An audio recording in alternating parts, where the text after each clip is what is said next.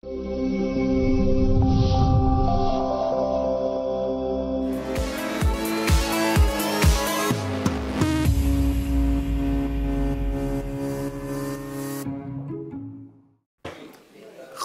dames en heren.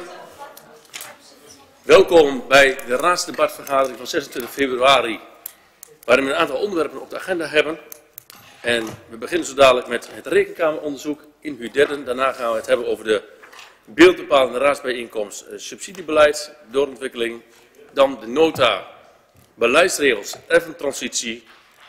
Vervolgens bestemmingsplan inwoning en harmonisatie woonbegrippen. Dan de exploitatie en ontwikkeling van de locatie Smithoek en de locatie Mozaïek.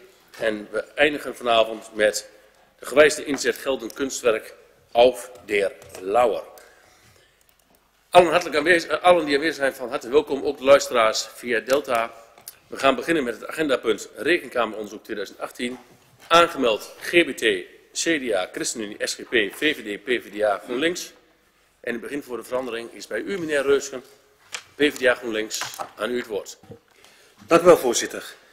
Um, dit uh, rapport is mede aan ons aangeboden naar aanleiding van een motie in de vorige raadsperiode.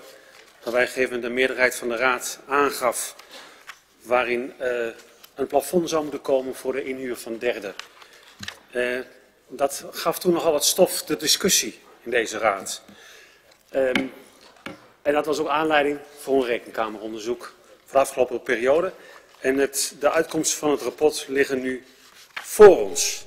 Wat mij betreft is dit een eh, heel helder en duidelijk rapport met ook een aantal goede aanbevelingen. Waarvan ik denk, daar moeten we als raad uh, in ieder geval notie van nemen. En denk ik ook een aantal uh, stappen in ondernemen. En ik ben ook heel benieuwd wat de collega's daar straks van gaan vinden. Wat mij betreft daar waar het gaat om de kaderstellende rol, ben ik benieuwd van wat is dan die kaderstellende rol en waar houdt de taak uh, en rol van ons als raad op als het gaat om het vaststellen van budgetten of hoogte van budgetten. Terwijl we eigenlijk met elkaar ook het hebben over, uh, we willen graag een kernorganisatie zijn met een flexibele schil eromheen. En als dat het kader is, en we willen dat met elkaar ook aan de orde stellen, dan gaat het college uh, inderdaad over het hoe. Uh, maar dan nog is de vraag, wanneer zeggen wij dan wel of niet wat over dat uh, budget? Wat mij betreft is in ieder geval uh, het uitgangspunt in dit geval dat wij met elkaar zeggen, we willen een doelgerichte organisatie met een flexibele schil. En dan is aan het college om daar aan ons verantwoording over aan te leggen. Um, tegelijkertijd is het wel zaak om te voorkomen dat we discussies krijgen zoals we die de afgelopen periode hebben gehad om te voorkomen dat we het weer hebben over hoogte van budgetten en omvang van inhuur, dat het college ons daarin meeneemt en aangeeft hoe ziet die kernorganisatie er dan uit en hoe ziet die flexibele organisatie eruit en hoe zorgen we dat dat in uh, goede verhoudingen uh, is. Dus wat mij betreft uh, en onze fractie gaan wij hier mee aan de slag en nemen wij de aanbevelingen zoals die hier zijn opgenomen in het rekenrapport over en die steunen wij ook van harte. Dank u wel, voorzitter. Dank u wel, heer Reusgen, voor uw bijdrage. Ik wil de VVD verzoeken om haar inbreng te geven op dit onderwerp. Dank u wel, voorzitter. Ja, we hebben inderdaad hier in de Raad hebben we het al eerder gesproken over de inhuur van derden. En met name omdat daar een stijgende lijn in zit. De toename van die post was natuurlijk wel te voorzien. Uit het rekenkameronderzoek blijkt ook dat, wel dit, dat, dat dit het gevolg is van ingezet beleid door de Raad. Daartegenover staat dan ook een lagere ambtelijke vaste kern. En we hebben hier in de Raad gesproken over een eventueel plafond voor één uur, waarbij dan overschrijding, bij overschrijding eerst toestemming zou moeten worden verkregen via de Raad. Uit de beantwoording toen van het college uh, heb begrepen dat dit geen wenselijke situatie is. En dat daarmee geweld, geweld wordt aangedaan aan de flexibiliteit en de voortgang van bepaalde zaken. Daar kunnen wij als VVD wel begrip voor opbrengen. En wij vragen ons dan ook af of we wel zo'n plafond moeten instellen. En zo ja, hoe hoog zou die dan wel kunnen zijn? In de aanbeveling van dit rapport worden ook al suggesties gedaan om de Raad vooraf meer duidelijkheid te geven en mee te nemen vooraf in bepaalde trajecten waarin u nodig zal zijn. Daar zal natuurlijk verschillend over worden gedacht in deze raad. En dan zijn we als VVD ook benieuwd naar hoe de rest hierin staat. Maar um, wij zijn eigenlijk benieuwd uh, naar een voorstel van het college uh, of er een plafond zou kunnen worden ingesteld en hoe hoog zij dan denken dat die zou kunnen zijn. Zonder dat je daarmee geweld doet aan de voortgang binnen dit huis. Dus eigenlijk is onze vraag, kan daarvoor een voorstel komen?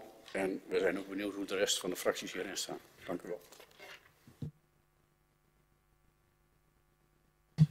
Dank u wel, heer Kovers. Ik wijs de raad er wel op dat dit een agendapunt is van het presidium naar de raad gebracht. En als u dat wenst, dan moet u het college zelf opdracht geven en een kader meegeven. U kunt op dit agendapunt niet vragen of het college een voorstel voor u wil doen hoe hoog moet zijn. Dan moet u dan andersom redeneren. Dus even ter aanvulling op uw inbreng en ook voor u allen in de beraadslaging om dat mee te nemen. Ik zag de heer zich niet aangemeld. Dan ga ik door naar de SGP-fractie, meneer Jonker. Dank u wel, uh, voorzitter.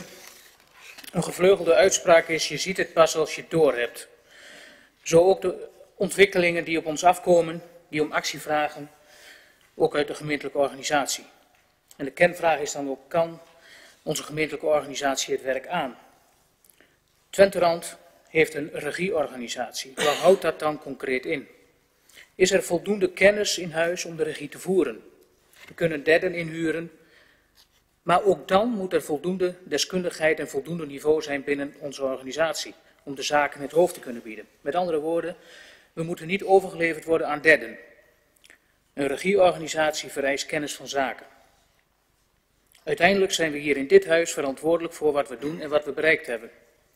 Naar de mening van de SGP-fractie ligt de focus niet op het aantal ambtenaren, maar dat het werk goed gedaan kan worden. Dat geldt dus ook voor de controle en toezicht. Dat betekent niet dat je geen kennis van kunde inhuurt, maar dit moet dan wel goed afgebakend zijn. Wat de SGP betreft met name gericht op specialistische kennis en incidenteel, bijvoorbeeld bij grote projecten. Kenvraag is, hoe wordt geborgd dat er voldoende kennis en ervaring is en blijft om de regie te kunnen voeren? Hoe wordt dit ook vormgegeven in het personeelsbeleid? Concreet is dat niet af te leiden in dit plan, maar dan zou de Raad daar ook op een later tijdstip het college kunnen vragen om hier over nader te informeren wat de knelpunten zijn. Dank u wel, voorzitter.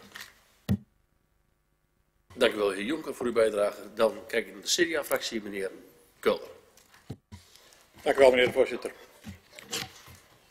Ik ben in uur een onderwerp waar we al een aantal jaren uh, druk mee bezig zijn. En uh, waarvan met name het plafond uh, iedere keer een discussie is. Als je kijkt naar de rekenkameronderzoek, denk ik dat een goed rapport ligt. Er een paar goede aanbevelingen. Waar toch een aantal dingen in staan waar je met z'n allen afspraken over zou moeten maken.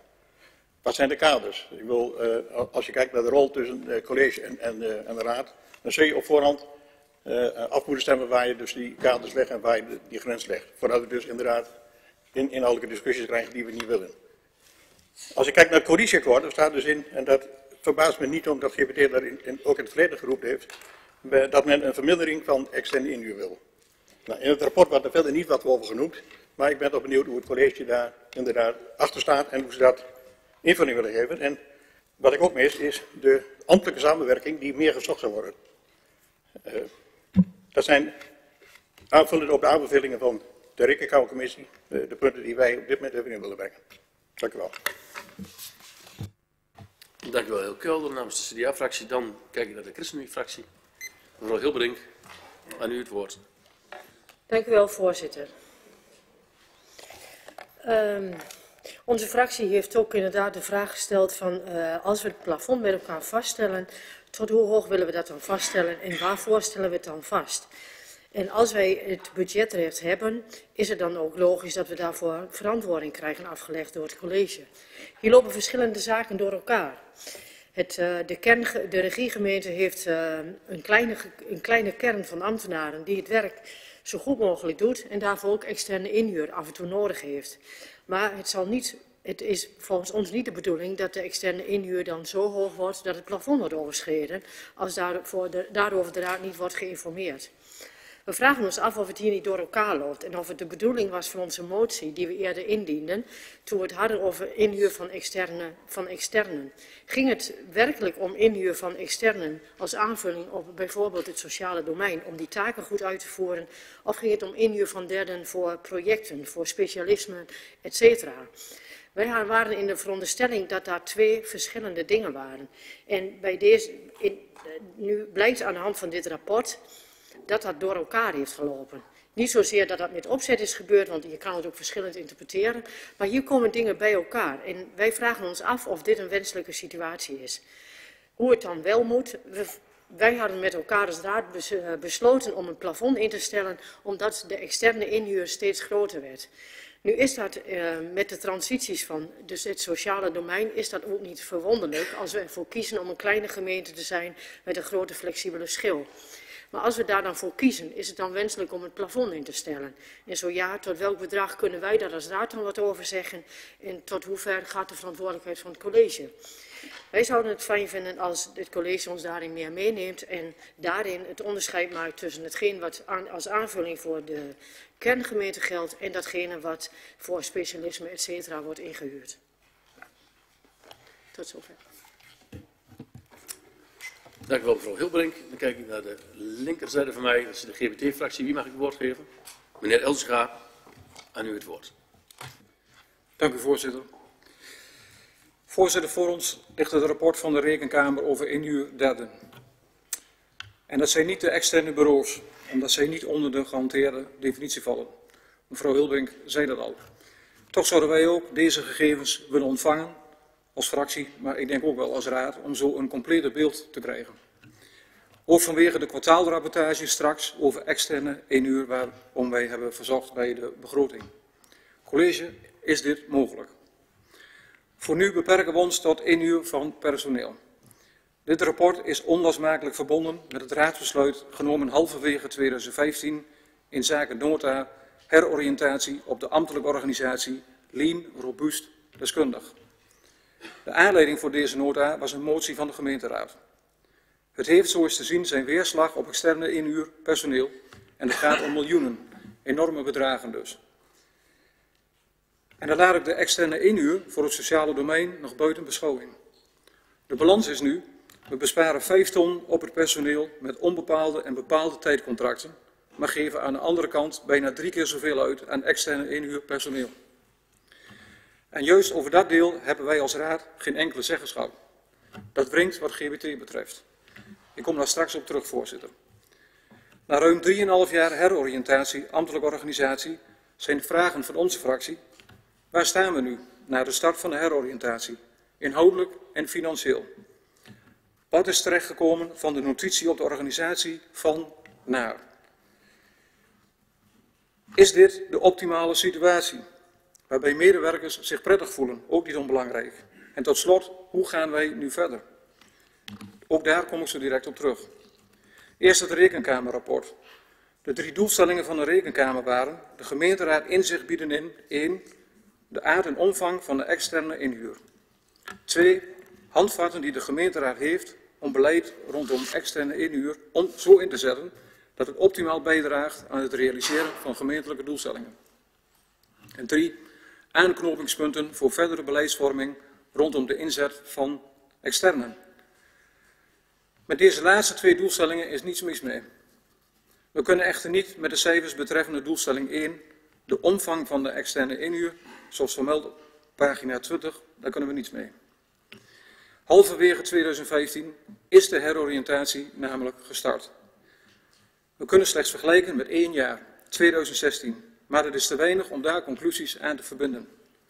Nog los van het feit dat bij de behandeling van het transitieprogramma heroriëntatie, met betrekking tot hetzelfde jaar 2016, van hele andere getallen wordt uitgegaan dat nu wordt weergegeven in dit rapport. Wat is het nu eigenlijk? Om hieromtrent toch enigszins conclusies te kunnen trekken, zouden we graag de cijfers van 2017 en 2018 ontvangen, voorzitter. Kan het college daar voor de aanstaande raadsvergadering alsnog voor zorgen? We moeten helaas concluderen dat na lezing van het rapport van de voorgenomen uitwisseling van personeel binnen Twentse Wand, de heer Kuilde noemde het ook al, onder andere regio Twente en de WT4 nauwelijks iets terecht is gekomen. Hoe kan dit? Wat we een gemiste kans vinden, is dat er geen raadsleden zijn geïnterviewd door de Rekenkamer met betrekking tot de verwachte verantwoordelijkheden tussen college en raad. Nu hebben we met name het verhaal van drie mensen. Eén lid uit het college en de gemeentesecretaris. Die beiden over de organisatie gaan en dit is van beiden hetzelfde. Hierdoor is de andere kant van het verhaal niet tot haar recht gekomen en concludeert de Rekenkamer wel dat het college de raad actiever had moeten betrekken bij organisatieontwikkelingen. We voegen daar als raadsfractie aan toe, het budgetrecht ligt wel bij de gemeenteraad. En wij zijn als hoogste orgaan wel eindverantwoordelijk. Maar hebben over de hoogte van externe inhuur helemaal geen zeggenschap. Niet wat maximaal is of optimaal kan zijn. Maar dat kan wat ons betreft nu alsnog. En het college biedt een opening in de reactie op het rekenkamerrapport in een brief. Hierbij doel ik op de doelstellingen 2 en 3, want deze zijn interessant, want ze komen eveneens terug in de aanbevelingen die door een aantal partijen hier wordt onderschreven. Kortom, het wordt tijd dat we nu nader met elkaar de balans opmaken, verder sturing geven aan de heroriëntatie richting de toekomst, ook als raad. Voor GBT is daarbij belangrijk een zo optimaal mogelijke situatie tot stand te brengen, waarbij de medewerkers zich prettig voelen en dat straalt weer af op onze inwoners. Tot zover, voorzitter. Dank u wel, meneer Elsiga. En dan moet u zeggen dat u exact op de spreektijd zat. Exact.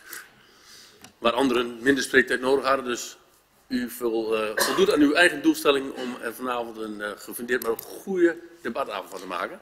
Ik wil de gelegenheid geven aan de portefeuillehouder om te reageren op hetgeen aan vragen naar u toe is gekomen. Mag ik de portefeuillehouder verzoeken om... U wilt een... Ja, dat, hoeveel heeft u nodig?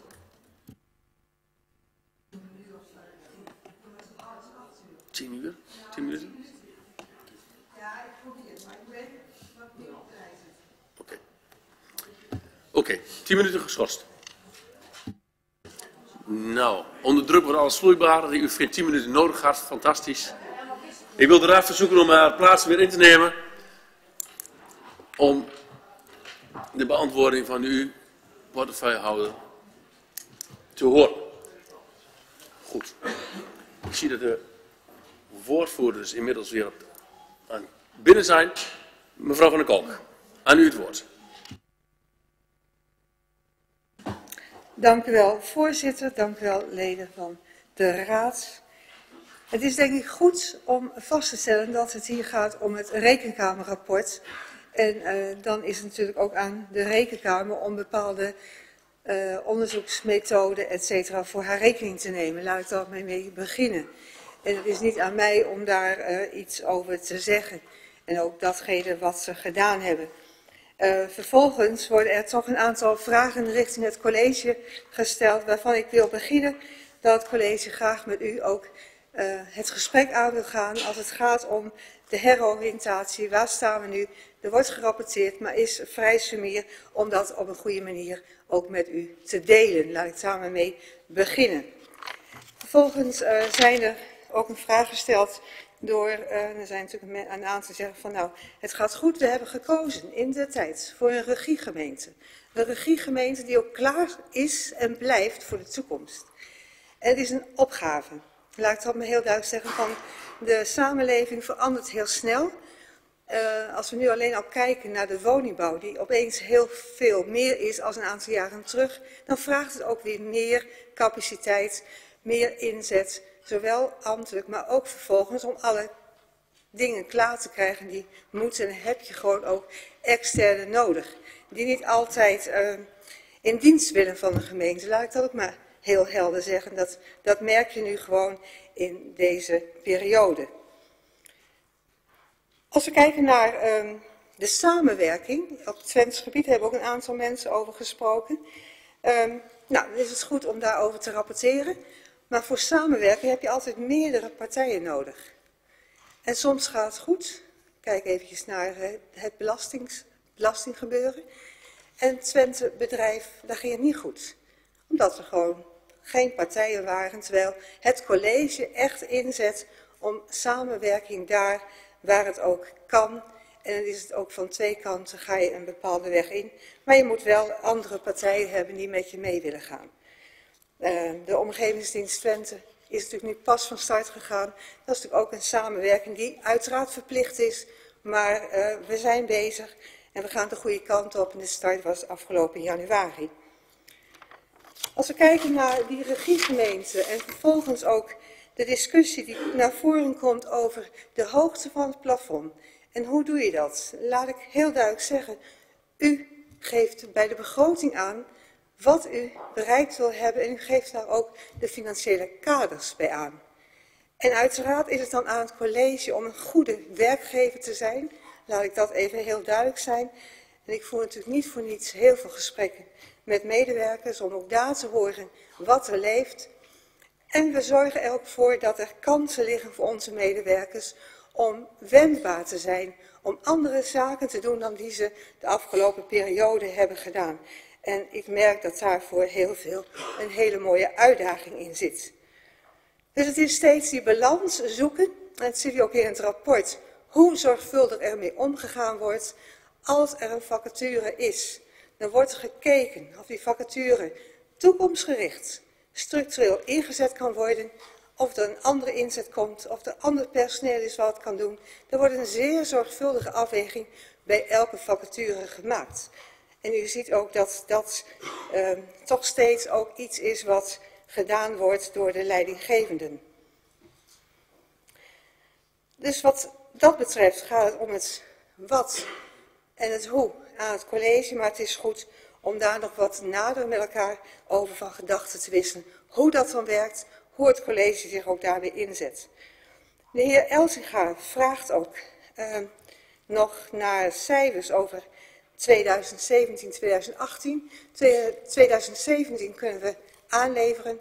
2018 is een tweede kwartaal. Die hebben we gewoon nog niet compleet. Dus die kunnen gewoon niet voor de raadsvergadering worden uh, aangeleverd. En ik denk dat het goed is om, nou, ja, dat staat ook wel in het rapport, is ook vanuit het college, de toezegging om heel duidelijk met elkaar het gesprek aan te gaan. Hoe het gaat, hoe het zit, om ook dat goede, die balans die wij steeds meer weer zoeken als college, om die ook duidelijk te maken hoe dat proces in zijn werk gaat. Voorzitter, tot zover denk ik mijn reactie namens het, ja, het is een beetje dubbel, laat ik dat maar zeggen. Ik ben hier natuurlijk voorzitter van de raad. In die hoedanigheid breng ik uh, het rekenkamerrapport hierin. En ik ben natuurlijk ook portefeuillehouder personeel en organisatie. Dus het is een beetje dubbel. En ik denk ook dat we het gesprek hierover op een ander moment breder kunnen ingaan. Nou, voor die eerste rol hoeft u zich voor vanavond geen zorgen te maken. Dat neem ik graag van u over als voorzitter van deze debat. Maar portefeuillehouder met personeelszaken, ik snap, uh, ik snap uw struggle. Het is wel goed dat de Raad zich uh, bezint over de tweede termijn en aangeeft wie een tweede termijn wil voeren. Wie als reactie, CDA-fractie, SGP-fractie zie ik, GBT-fractie. Dan begin ik bij de GBT-fractie. Dank u voorzitter. Uh, bedankt aan de portefeuillehouder voor de beantwoording van uh, enkele vragen. We zien de cijfers van uh, 2017 voor de raadsvergadering uh, zien we dan tegemoet. En we gaan er vanuit dat ze op dezelfde manier worden weergegeven zoals het daarvoor is, is gebeurd. Want anders is het nog lastig om dat te vergelijken. We hebben ook vragen gesteld hè, intern van wat is nou de verdeling van vast personeel en het flexibele inhuurpersoneel. En die verhouding, uh, dat was jaren terug heel anders, maar is nu 60-40. 60 is nog vast en 40% is flexibel. Uh, de vraag is, en dat is wat wij als fractie uh, ook over gehad hebben, wat is de optimale en de, de beste situatie? Dat vragen wij ons af. We hebben niet gezegd wat goed is of wat beter is. We hebben wel gezegd, hoe ver moet je gaan? Als je een notitie opstelt uh, in het verleden, en uh, ik weet niet of iedereen dat document nog heeft, waarin staat van waar je naartoe wil, en dan vraag je aardig wat van een uh, organisatie. Dan is de vraag van, in hoeverre is dat dan nog realistisch? Die notitie van, wij willen van een, bepaalde organisatie naar een kennisorganisatie, wij willen van de medewerkers van, weet ik wat, vriendelijk naar zorgzaam, dat soort dingen stonden er allemaal in. Uh, wat is daar dan van terechtgekomen? We hebben het wel in, namelijk in de raad besproken. Op een gegeven moment wil je ook zien van uh, wat, wat, is daar dan mee gebeurd.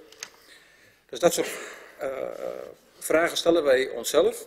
En we willen daarmee ook in gesprek met het college. Maar we willen wel er dichter op zitten dan wij tot nu toe hebben gedaan. En dat ligt niet alleen aan het college, het ligt natuurlijk ook aan de raad. En uiteraard, dit rapport is, een, is eigenlijk een opdracht van de raad. Wij bepalen het onderwerp uiteindelijk en dat rapport wordt gemaakt. En het college kan daarop reageren en uiteindelijk, het is een stuk van de raad. Maar we ontkomen er niet aan om vragen aan u te stellen, omdat u over de organisatie gaat en wij niet. En dus dat, dat is gewoon uh, zo. Er blijft nog een beetje in het midden hoe het dan zit met die 2016 gegevens. Dat uh, we getallen krijgen die later dan weer uh, anders zijn. Uh, dan is het lastig om als fractie om te kunnen bepalen, maar waar moeten wij ons dan nu aan vasthouden, voorzitter. Um, u zegt de hoogte van de externe inhuur, daar gaat de raad over. Maar wij vragen ons af, is dat zo? We hebben wel eens voorstellen ingediend in, uh, in de afgelopen jaren. Waarvan we zeiden van, we willen... Meneer Osra, u moet even, uh, u even onderbreken, dat ging niet over de externe inhuur. Hoor. Het plafond, daar gaat u zelf over. Dat is wat de portefeuille heeft gezegd. Bij de begroting stelt u het plafond en het budget vast. Dat klopt. En daar is een voorstel voor ingediend. Maar daarvoor, want dit was dus een plafond van tot hier en daarna uh, moet het onderbouwd naar de raad. Dat is een reactie opgekomen van het college. Eigenlijk van, het was eigenlijk uh, onuitvoerbaar, daar kwam het een beetje op, op neer. Dat was lastig te realiseren. Maar we hebben ook voorstellen ingediend van stel, we hebben een inhuur van 4 miljoen en we willen naar 3 miljoen. Dan kun je dus structureel, vier jaar lang, maar dat is dan structureel, 250.000 bezuinigen. En als je dat dan voorstelt, dan zeggen ze dat kan niet, want het maakt niks uit. Want het zit allemaal verdeeld in allerlei potjes, in kredieten, in exploitatie, in subsidie. Ja, dan is onze simpele constatering, hoe kan dat nou? Je gaat 250.000 euro per jaar minder uitgeven, maar het, heeft geen, het biedt geen soelaas. En dat is voor ons gewoon een hele vreemde en niet te plaatsen opmerking.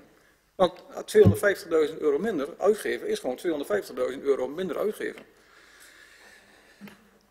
Um, de methode, ja, daar gaat de rekenkamer over, dat zijn we met u eens, maar ik maak dat opmerking wel, want ik neem aan dat uh, mevrouw van der Plas, die uh, inmiddels aangenomen is, uh, meeluistert. dus dat is ook een beetje van, uh, graag als raad, vooral bij dit onderwerp, omdat het heel vaak speelt, betrokken willen worden. Even een opmerking van de heer Kulder van het CDA over die vermindering van externe inhuur in het coalitieakkoord. Hoe? Dat klopt. En de eerste aanzet is die kwartaalrapportage, waar wij als raad allemaal dan wat strakker op kunnen zitten. Um, het is misschien nog wel goed dat um, het college daarbij aangeeft dat het sociaal domein eerst nog even wat apart gehouden wordt, want anders is het lastig vergelijken, zodat we wel kunnen zien wat gebeurt er nu, uh, nu eigenlijk. Verder hebben wij in het coalitieakkoord wel aangegeven van meer die ambtelijke samenwerking, wat nu wat moeilijk van de grond is gekomen.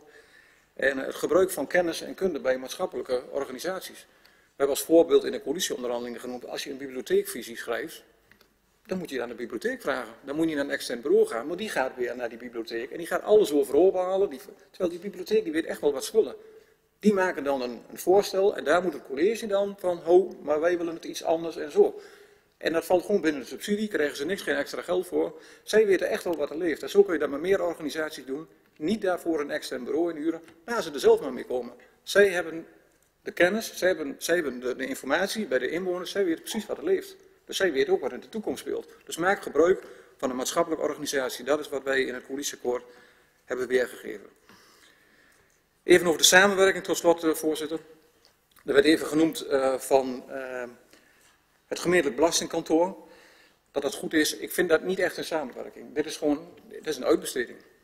We hebben het gewoon buiten de deur gezet. Dat, dat, dat vinden wij geen echte samenwerking. Maar goed, voorzitter, het is misschien door samenwerking misschien wel tot stand gekomen. Maar uiteindelijk is het gewoon dat je iets uitplaatst. Tot zover, uh, voorzitter. En afwachten van de cijfers van 2017. We hebben zo wel het vermoeden dat we de raad in ieder geval nog even op terugkomen. Oké, okay, dat is prima. Dat is ook aan u. Ik geef het woord aan de CDA-fractie. Meneer Kelder. Dank u wel, meneer de voorzitter. Dank u wel, burgemeester, voor uh, uw beantwoording. Ook voor de uitnodiging om met de gesprekken te gaan. Ik ben, uh, zijn, denk dat dat heel goed is. We zullen dan denk ik wel op voorhand een aantal afspraken moeten maken waar we het dan precies exact over gaan hebben. Want anders gaan we toch weer een, uh, allerlei kanten op. Uh, ik, ik sluit even aan bij een aantal dingen die er Elsinga ook ingebracht heeft, over samenwerking. Want hetzelfde wat hij, ook inbracht is samenwerking bij mij iets anders dan inderdaad gemeentelijke belastingbureau. We hebben, toen wij die discussie hadden, hebben we gezegd van je kan ook bij de buren een aantal mensen expertise binnenhalen. Je kan inderdaad de bibliotheek, er zijn heel veel dingen, als we het over sport hebben, kunnen we platform erbij halen. Dus dat soort dingen, dat uh, hebben wij altijd verstaan en dat, ik ben blij dat GPT daar ook zo in zit. Om inderdaad gebruik te maken van. U zegt de werkdruk verandert, dat klopt. Daarvoor hebben we dus ook de constructie gemaakt van de vaste kern en de flexibele schil om inderdaad in te kunnen spelen op, op de aangepaste werk, werkdruk. Daarnaast is denk ik het heel goed dat we een stukje transparantie hebben over welke plafonds hebben we nu. en als je inderdaad in het sociale domein separaat zit, is prima. Maar ik denk wel, en dat zullen we dan bij de kadernota wel, wel uh, uitvoerig aan door krijgen, dat we in ieder geval vaststellen wat we dus als budget uh, vaststellen en hoe we dat dan inderdaad ook willen meten. Tot zover. Dank u wel, meneer Kolder. En dan de SGP-fractie, meneer Jonker, had u nog gevraagd om de tweede termijn. Aan u het woord. Dank u wel, uh, voorzitter. Burgemeester, bedankt voor uw uh, beantwoording. Um, wat nog een beetje open blijft is wanneer we dat gesprek aan kunnen gaan. U hebt zelf ook het, uh, de naam de kadernota horen vallen, uh, genoemd. Um, wat SP-fractie betreft is dat ook een goed moment om dan ook inzichtelijk te hebben wat de eventueel knelpunten in de organisatie zijn. Zodat we dat ook kunnen meenemen, dat het gesprek ook ruim ja, voor de kadernota met de raad kan plaatsvinden. Zodat we ook kunnen schakelen met de kadernota. Kunt u die toezegging doen? Dank u wel, meneer Jonker, voor uw bijdrage. Dan is er nog een vraag aan u. Of u nog een toezegging kunt of wil doen. Mevrouw van der Kolk, en u het woord. Voorzitter, dank u wel. Uiteraard kan ik een toezegging doen om bij de kadernood, en het zal heel duidelijk zijn dat we daar uh, uiteraard op terug zullen komen. Toch nog uh, vanuit mijn kant een, paar opmerkingen. En de heer uh, gaf natuurlijk aan van ja, je kunt natuurlijk 250.000 euro structureel bezuinigen en vier jaar lang heb je een miljoen. Dan denk ik laat dat maar heel helder zijn, dat de Raad ook moet zeggen wat dan niet meer gebeurt. Want ik denk dat we heel helder met elkaar het gesprek aan moeten gaan als je bezuinigt op het structureel, het budget in een totaliteit van datgene om het hoe uit te werken, dan moet je ook met elkaar zeggen van oké, als we dan minder aan het budgetpersoneel in een brede, dus zowel vast als flexibel, als we daarop willen bezuinigen, dan gaan we ook als raad keuzes maken. Want anders dan wordt het over de schutting van het college gegooid en vervolgens naar de personeelsleden. En daar kan ik als goed werkgever niet mee thuiskomen. Laat ik dat ook maar heel duidelijk hier zo stellen, want ik denk dat anders uh, het probleem bij het personeel komt te zitten. En ik heb uh, zoveel gesprekken en dan denk ik dat we ook dat met elkaar moeten doen. Ja, u krijgt een interruptie. U wacht al keurig Dank u wel. Meneer Elsinga, aan u het woord. Ja, voorzitter, ik heb daar wel een uh, opmerking over. Kijk, u schreef in een stuk aan de fractie, we hebben daar interne vragen over gesteld, dat er ruimte is, hè, doordat er vanuit het vaste personeel is afgebouwd in de afgelopen jaren. En daar is ruimte ontstaan ook voor in, externe inhuur. Wordt allemaal niet gebruikt. Dat staat in het stuk. Um, wat je ook hebt, is als je dus interne of externe inhuur hebt en ZZP, dan is de opslag of de loonsom is 50%. Met andere woorden, als een ambtenaar hè, die hier in vaste dienst is of in dienst van de gemeente 50.000 kost, kost hij bij zo'n ZZP'er kost hij 75.000. Je kunt er ook voor kiezen van, oké, we doen het niet met die ZZP'er, maar we nemen twee ambtenaren aan in plaats van twee minder uh, ZZP'er. Dus die twee keer 25.000 euro in plaats van twee ZZP'ers kies je voor één ambtenaar. Maar je kunt ook zeggen, we doen het juist andersom en dan bespaar je geld. Het is net even uh, hoe je er tegenaan kijkt. Voorzitter, uh, de heer Elzig heeft technische vragen gesteld. Daar heeft hij vanmiddag antwoord op gehaald. Dus daar citeert hij ook nu uit. Even toch daarop doorgaan als u mij die ruimte geeft, uh, voorzitter. U geeft nu aan dat u zegt van nou, in plaats van voor een bepaalde activiteit, voor een bepaalde taak, in plaats van inhuur, ga je twee ambtenaren in vaste dienst nemen. De afweging die gemaakt wordt door het college, het, eh, het CT, is steeds van, hebben wij structureel op de langere termijn deze mensen nodig? Ja of nee? Kijken naar de ontwikkelingen die op ons afkomen. Nou, en dan maak je soms de keuze dat je zegt van nee, op termijn. En dan moet je nog kijken of het wendbare mensen zijn. Of je kunt omscholen, weet ik wat niet meer. Maak je een andere keuze. Dus het is niet zo van één die, twee die en dus. Nee, die afweging wordt per vacature die ontstaat, wordt die gemaakt. Is er nog een aanvullende vraag bij Elsegaard? Dat, dat, is, dat is het geval. Aan u het woord. Ja, voorzitter, ik maak die opmerking niet voor niets. En ik begrijp uw antwoord wel. Hè, uh, maar dat is nou juist wat wij zeggen. Daar moeten wij het nu over hebben. Want dat zeg ik aan het einde. Van hoe gaan wij dit invullen? Is 40, 60 procent, is dat de verhouding? Hè, is, is, is dat te ver doorgeschoren of is er juist meer nodig? Want we willen ook wel graag kennis waar iedere keer maar weer de deur uitloopt. Willen we graag wel een keer vasthouden. Hè, dat willen we ook graag ik hou ook wel van betrokken medewerkers. In plaats van mensen die van 9 tot 5 komen en dan naar huis gaan. Uh, ik vind het goed. Ja, dus het is een beetje, dat soort dingen moet je allemaal naar kijken. Voorzitter. Aan u het woord. Um, wij hebben hele betrokken medewerkers. Dat is mijn eerste punt. En u zegt van wij willen daar het gesprek aan. Ik denk dat het goed is om dan eerst vast te stellen waar de verantwoordelijkheid van de raad zit en waar de verantwoordelijkheid van het college ligt. De wat en de hoe vraag is een hele fundamentele, heeft u ook in het rekenkameronderzoek uh, kunnen lezen. Daar gaat het om. En dan moet je je afvragen of je zegt is het 60-40 of misschien wel 50-50. Kijk het naar de omgevingswet, kijk het naar, ik noem maar een paar van die voorbeelden waarvan ik denk, daar doe ik geen enkele uitspraak over, ook al ben ik verantwoordelijk voor personeel en organisatie omdat ik denk dat je die uitspraak niet kunt doen. En het afhangt van datgene welke taken je hebt, welke verantwoordelijkheden je hebt en toekomstgericht hoe je daarmee verder gaat. Dus als u zegt van ja, mis is het 60-40, is dat optimaal? U zult voor mij geen verhoudingen horen, omdat ik dat niet verantwoord vind voor onze medewerkers. Oké. Okay. Ja, laatste, uh, laatste vraag hierop. Ja, de laatste vraag. Het is eigenlijk meer een opmerking. Kijk, u zegt wel van uh, over de rekenkamer. De rekenkamer zegt juist in de aanbeveling dat wij meer met elkaar contacten moeten uitwisselen, gegevens moeten uitwisselen. Dat, dat zegt eigenlijk de rekenkamercommissie. We moeten meer, meer genomen worden als raad, want daardoor ontstaat die, die achterstand. En volgens mij zeggen wij als raad, ik hoor het zo'n beetje bij de meeste partijen, wij willen gewoon daarin meer genomen worden. Ik denk dat het juist ook betrokkenheid is en een goede zaak is. Een afronding op ja, dit interruptievraagje. Dank u wel, als laatste. Ik ben blij dat u dat zo zegt. Uiteraard wil het college met u het gesprek aan, maar wel vanuit de verhoudingen zoals ze liggen, zoals de rekenkamer ook zegt. U meenemen, maar wel de wat en de hoe-vraag blijven natuurlijk wel twee verantwoordelijkheden. De ene bij de raad en de andere bij het college. Ik denk dat dat wel een uitgangspunt is, wat ook de rekenkamer. En dan kunnen we het gesprek aangaan. Hoe het zit, welke keuzes er worden gemaakt. Dat gesprek wil ik heel graag met u aan. Maar als daarbij in het achterhoofd is, wij willen een plafond dan denk ik dat we daar nog wel een heel gesprek over hebben wie daar dan de verantwoordelijkheid voor draagt.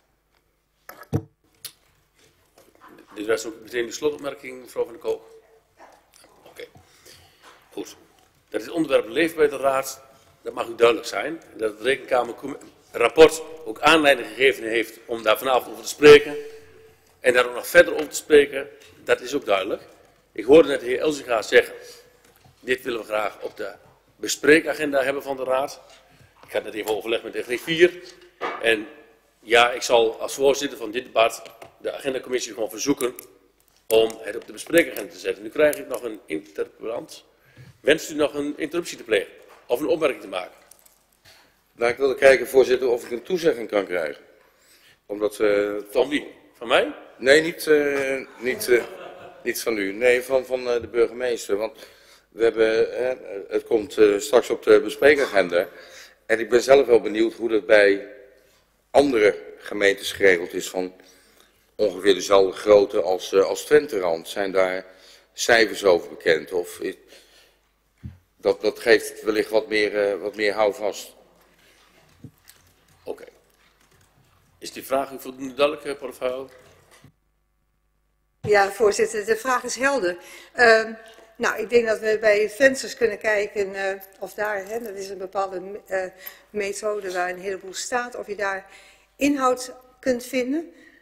Maar daarbij wil ik wel de kanttekening maken van, ik weet nu wel die gemeentes van onze omvang voor een regiegemeente gekozen hebben. Ik zou het niet weten. Dus dan kun je ook wel hele verschillende cijfers krijgen die niet met elkaar te vergelijken zijn. Ik weet het niet. We zullen er naar kijken, maar misschien moet je dat ook maar in je achterhoofd hebben van ja, als je als gemeente beslist van we willen alles zelf doen, is het ook een keuze. En dan heb je andere cijfers. Dus, maar we zullen kijken wat wij uh, voor u kunnen betekenen. Nou, heeft u toch nog een toezegging? Dank u wel. Dank u wel voor uw vraag. Nog in de afronding van dit debat. Ik wilde u voorstellen om het, uh, de agendacommissie te vragen om dit te agenderen. Uh, als het u behoeft, dan kan daar een motie aan gekoppeld worden. Ja, want dat is het gevolg op zo'n debat als deze. En het is denk ik goed om vanuit mijn functie vanavond ook heel duidelijk tegen het college te zeggen. U heeft heel goed gehoord, denk ik, vanavond. Dat er een, in ieder geval duidelijkheid moet komen over hoe zit het al in elkaar. Informatie en meegenomen worden. Hoe zit die organisatie in elkaar. Dus ik leg ook een vraag bij u neer om te organiseren dat u de raad daarover bij gaat praten. En dat hoeft dan niet via een motie, maar dat doen we even als afronding van dit debat. Dan sluit ik dit agendapunt af. Dank u wel voor uw bijdrage. En dan gaan we door naar het volgende agendapunt. En op dat agendapunt, daar zullen we het hebben over de beeldbepalende raadsbijeenkomst van 28 november 2018. Daarvoor heeft zich de PvdA-fractie gemeld met een korte inleiding. Ik wil u vragen, meneer Reusken, om inleiding te doen op uw debatvraag. Aan u het woord. Um, dank u wel, voorzitter. Uh, ik zal u eerlijk vertellen, ik zat even te twijfelen, ga ik dit agendapunt wel of niet uh, agenderen? En ik heb de raadsinformatiebrief niet één keer gelezen, maar wel drie, vier keer gelezen.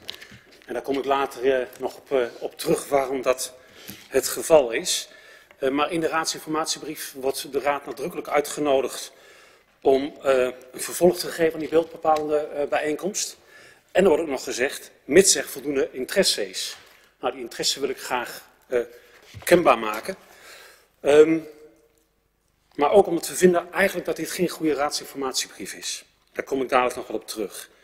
Allereerst erkennen wij dat het goed is, ook naar aanleiding van die, beeldvormde, uh, naar die beeldvormende informatiebijeenkomst, waarbij we gekeken hebben van wat zijn nou eigenlijk vraagstukken en hoe kun je met maatschappelijke vraagstukken nou omgaan en hoe kun je die oppakken. En wat betekent dat bijvoorbeeld voor het inzetten van middelen? Ik denk dat dat een goede discussie is om die met elkaar te voeren. Maar als ik de raadsinformatiebrief lees, is mij het doel niet duidelijk. Wat gaan we dan precies doen? Gaat het dadelijk over samenwerkingsvormen die we uh, willen bespreken met elkaar en hoe we daarmee omgaan? Gaan we het hebben over het nieuw te ontwikkelen subsidiebeleid? Het subsidiebeleid wat we hadden, dat is net twee jaar geleden of drie jaar geleden vastgesteld. En zijn we nog volop mee bezig om dat zelf te door, uh, door, door te ontwikkelen. Gaat het over de omgevingsvisie, die wordt hier ook genoemd. Gaat het over participatie, zoals wordt genoemd en verwezen wordt naar het collegeakkoord. Volgens mij loopt hier van alles door elkaar in deze raadsinformatiebrief.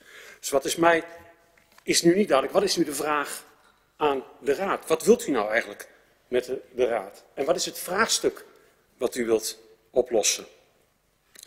Wij vinden dat u concreter zou moeten zijn met deze raadsinformatiebrief, met wat uw doel is om met de raad te bespreken. Waar gaat het nou eigenlijk over en welk vraagstuk wil u nu oplossen? Daar zou ik graag antwoord op willen hebben. Al met al vinden wij dit een raadsinformatiebrief die meer vragen oproept dan antwoorden geeft. Een, een raadsinformatiebrief die bovendien, als je die neer zou leggen bij het taalpunt, volgens mij een absolute onvoldoende haalt. Lange zinnen, moeilijke woorden. En wat ik al aangaf, ik moest hem drie tot vier keer lezen voor ik denk van, waar gaat het nou eigenlijk over? Dus wij zouden eigenlijk aan u willen vragen om een nieuwe raadsinformatiebrief te schrijven waarin u helder neerzet wat is het vraagstuk nu, wat we op willen pakken en wat willen we willen bereiken en oplossen. Dank u wel. Dank u wel, meneer Reusken. U stelt in uw inleiding dat u ten eerste graag een reactie wilt van de collega-raadsfracties. Maar in uw bijdrage wordt een vraagstelling aan de portefeuillehouder duidelijker dan de vraag aan de raadsfracties. Dus ik stel u de vraag. Waar heeft u meer behoefte aan? Eerst een antwoord van de portefeuillehouder of wilt u uw collega's horen? Het klopt dat u dit vraagt. Uh, namelijk toen ik het agendeerde, was ik, na één keer lezen, dat zal ik direct toegeven, uh, vooral bezig met het college vraagt hier wat aan de raad. En of de raad interesse heeft om hiermee aan de slag te gaan. Dat was de reden voor mij om aan te melden. En ik dacht bij mezelf, dat gaat iedere raadsfractie doen, want die gaat ook kenbaar maken of ze dit zien zitten of niet. Um, en toen zag ik tot mijn spijt dat wij de enigste fractie waren die zich hebben aangemeld voor het onderwerp. Toen ging ik het nog een keer lezen en nog een keer lezen. En op die manier, voorzitter, ben ik tot inleiding gekomen waartoe ik uh, ben gekomen.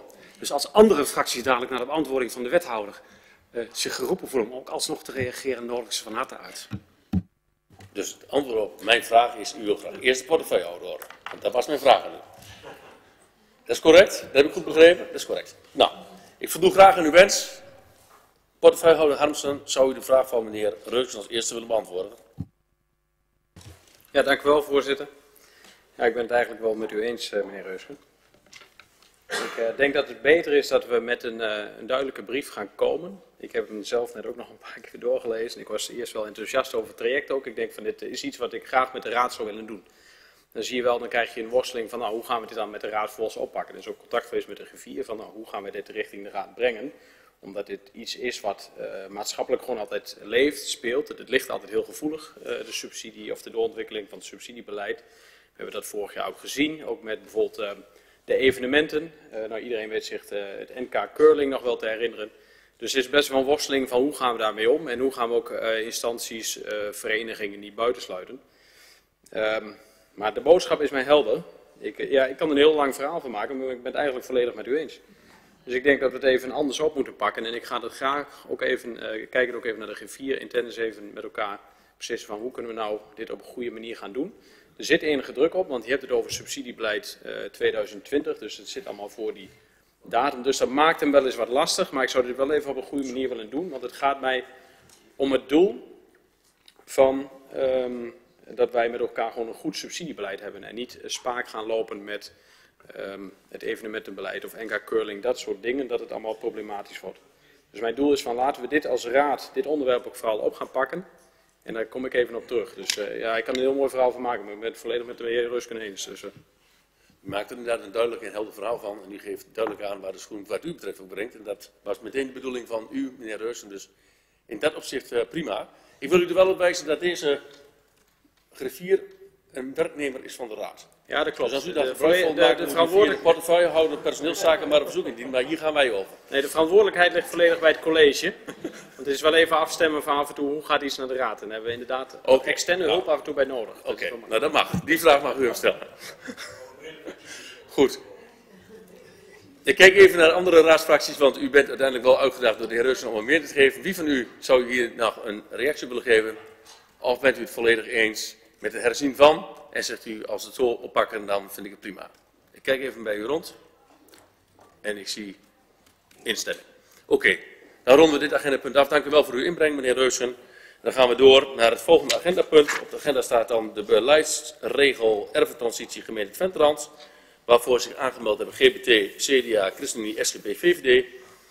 En ik wil het CDA vragen als eerste woord te voeren. Voorzitter.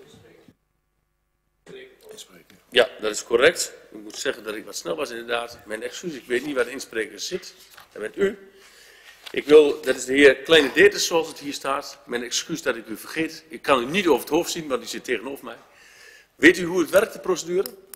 U, het is u uitgelegd. Dan wil ik u verzoeken om eerst uw inbreng te hebben. Bij de, in, bij de microfoon daar plaats te nemen.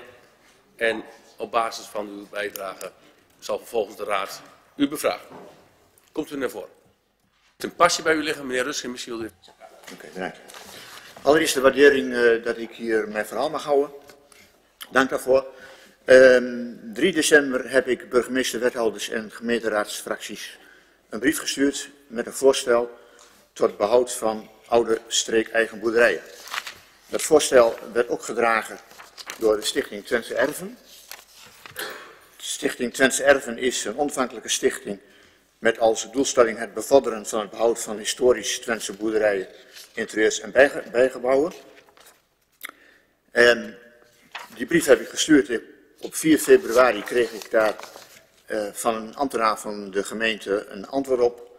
En die wees daarin op de mogelijkheid om de voormalige woonboerderijen weer een, een bestemming te krijgen, een woonbestemming te krijgen zou moeten worden kunnen gevonden in de sloop van voldoende vierkante meters landschapsontsierende voormalige bedrijfsgebouwen. En hij verwijst dan ook naar de notitie beleid erfentransitie die als vanavond aan de orde is.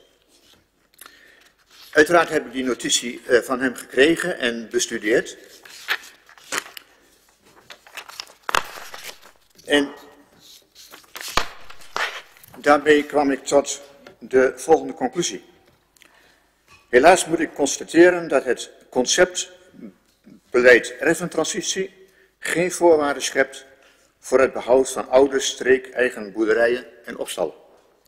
Sterker nog, het stimuleert juist de afbraak van boerderijen en opstallen.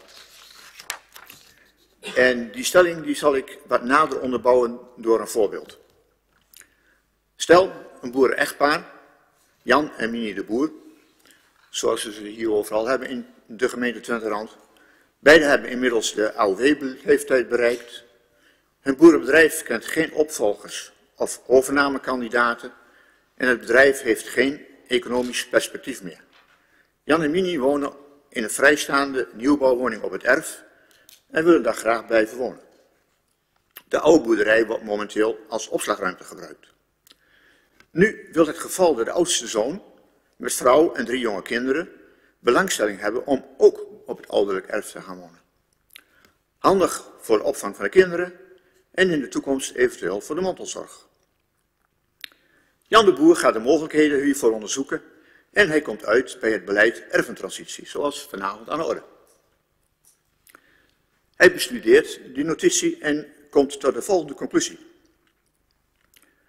Naast een schuur van de buurman zal ook onze oude boerderij, die al meer dan 100 jaar in de familie is, gesloopt moeten worden om te kunnen voldoen aan de norm voor de vierkante meters te slopen oppervlak.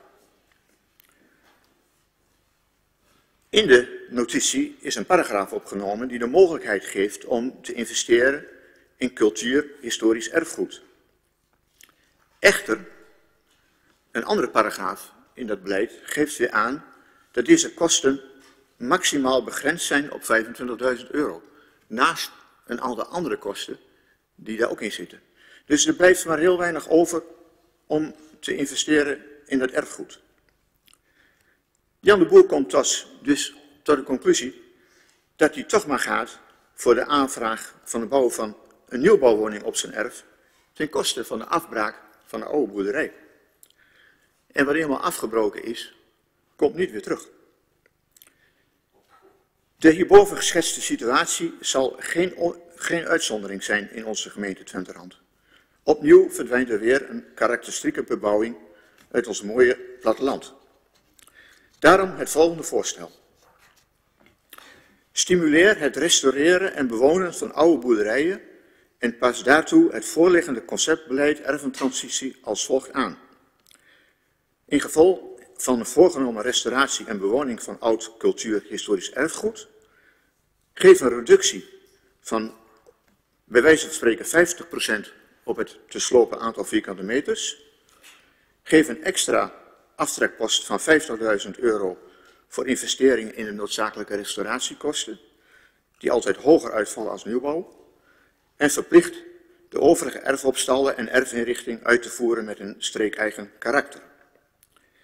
Deze aanpassingen aan het voorliggende concept beleid erfentransitie zullen mijns inziens wel een stimulans gaan vormen voor het behoud van een deel van ons Twenterans cultureel historisch erfgoed. Dank u wel. Dank u wel. Als u nog even blijft staan, kijk even naar de raad wie voor u een vraag heeft. Ik zie de VVD, SGP, CDA, ChristenUnie en GBT. Nou, ook dan maar in die volgorde. Aan u het woord voor het stellen van de vraag, meneer Kleine Deeters. Ja, dank u wel, eh, de heer Kleine Deeters, voor uw uh, inspraak. Mijn vraag is, wat is uw relatie tot die stichting uh, van het beheer van die gebouw? Ik ben donateur van die stichting. Uh, en ik bewoon zelf ook een oud erfgoed, dus ik ben, ik ben liefhebber van streek. Okay, dus u bent geen bestuurslid? Of ik ben geen bestuurslid, nee. Okay, dank u wel. Dank u wel. Dan gaat u in uw microfoon wel mis als u de microfoon open heeft staan en u ook tegelijkertijd, dan horen wij de vraag van u wat minder goed. Dus ik vraag u de, de microfoon even uit te zetten, zodat de collega van de SGP-fractie u een vraag kan stellen. En dat ook hoorbaar is voor iedereen. Aan u het woord, meneer Jonker. Dank u wel, voorzitter. Bedankt voor uw inspraak, de heer Kleine Deeters. Um, mijn vraag is cultureel historisch erfgoed. Ehm, er zijn ook monumenten die mogen volgens mij niet afgebroken worden. Maar waar ligt die lijn dan eh, bij de cultureel historisch erfgoed, zoals u dat inbrengt? Is dat een bepaalde leeftijd? Eh, je hebt inderdaad rijksmonumenten en gemeentelijke monumenten, die hebben een status, die mogen niet afgebroken worden. Maar bijvoorbeeld een oude boerderij van 100 jaar oud, die die status niet heeft, ja, die mag gewoon onder deze regeling, zoals die er nu ligt, mag je gewoon die vierkante meters van, van die oude boerderij mag je meenemen. Dus stel, eh, je moet 850 vierkante meter slopen en je hebt maar eh eh 600 of 700 vierkante meter oude schuren en die boerderij staat er ook nog, ja, dan is de verleiding best wel groot om ook die boerderij nog te gaan slopen, om toch aan die 850 vierkante meter te komen. Aanvullende vraag van meneer Jonker.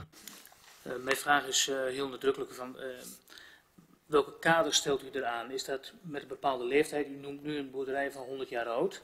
Maar is dat bewezen van ook al een boerderij van 40 jaar oud? Wat verstaat u dan onder cultuur? Druk nog één keer op dat rechterknopje. Ehm, je hebt oude monumenten en je hebt nieuwe monumenten. Eh, je- hebt ook, oude monumenten zal duidelijk zijn, maar nieuwe monumenten is bijvoorbeeld ook in de tijd van de wederopbouw. Je hebt, je hebt een aantal van die boerderijen die vlak na de oorlog gebouwd zijn. Dat is toch een bepaalde stijl van bouwen. Eh, voorhuis, achterhuis. eh, eh, waarvan men nu misschien zegt van ja, ach, dat, is toch een beetje achterhaald. Maar over 50 jaar is, is, dat, wel, is dat wel een monument. En het is wel cultureel historisch erfgoed. Maar wel een jong monument. En, en ja, die grens zul, zul je ergens moeten, moeten gaan leggen, uiteraard. Ja.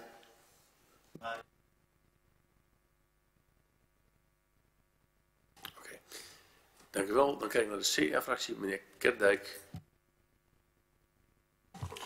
Ja, dank u wel, voorzitter. Eh, allereerst ook dank voor uw helder betoog. Eh, ik denk dat het pleit eh, toch heel sympathiek overkomt. Het roept bij mij wel de vraag op. ik weet dat er nogal wat situaties zijn waarbij de bewoning waar we het net over hadden, 40, 50, 60 jaar oud, op enig moment door de bewoner eh, eh, in vervangende woonruimte is omgezet. En Jan en Minnie de Boeren hebben ze geloof ik er zelf voor gekozen hebben om een nieuw woonhuis ervoor te zetten. En ja, dan blijft er dus een schuur eh, achter. Ja, en op het moment dat je dan zegt, en dan gaan we die schuur 50 jaar later of 30 jaar later ook nog een keer weer ombouwen tot woonruimte. Ja, dan zou er ook een bijzondere situatie kunnen ontstaan. Misschien kunt u eens aangeven hoe u daar tegenaan kijkt. Kerdijk. Ja, voor een deel is, is dat natuurlijk zo. Alleen het is op een gegeven moment wel cultuurhistorisch erfgoed geworden. Die oude schuur of die oude boerderij. En ehm, eh, die heeft op dat ogenblik gewoon geen economische waarde meer. En je ziet dus ook dat het verval van die oude, oude opstallen, die gaat gewoon steeds door, om- omdat die economische waarde heel laag is. Op het ogenblik dat je daar weer een bestemming aan geeft, een goede bestemming, een woonbestemming aan geeft, dat, dat heeft op zich waarde. Ja? Daardoor ontstaat ook die bereidheid om te gaan investeren in, in dat gebouw. Om, om dat gebouw gewoon te, restaureren en te renoveren. En op dat ogenblik dat je hem gerestaureerd en gerenoveerd hebt, is die weer voor 50 jaar, eh, in ieder geval voor de samenleving behouden. Dat is de gedachtegang die, daar, eh, die daarachter zit. En, en, en, en ja, dan zal het best zo zijn dat je denkt van, eh, ze hebben er zelf voor gekozen om 40, 50 jaar geleden een nieuwbouw te plegen. Dat klopt. Maar van de andere kant is het ook een verantwoordelijkheid om op een goede en een verantwoordelijke manier om te gaan met ons cultuur, historisch erfgoed.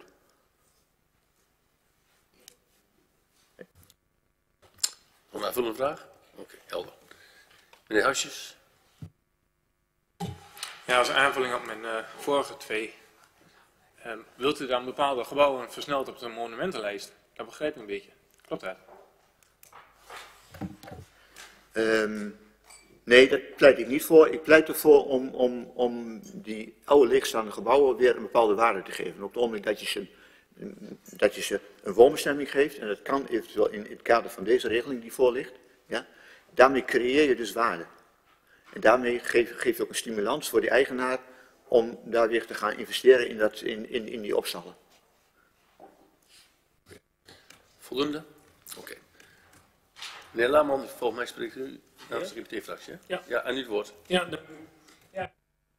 Wilt u de microfoon eh, gebruiken? Ik heb het niet uitgedaan. Eh, die, die, die meneer heeft eigenlijk wel de kans om extra sloopmeters te kopen om, om dan toch dat, dat die boerderijen te gaan verbouwen. In principe zit, zit, zit het, uh, uw verhaal zit wel in, in, in dit uh, erfenstandentransitie. Alleen de verleiding wat u zegt, ja, de verleiding om, om het af te breken is groter. En daar heeft u gelijk in.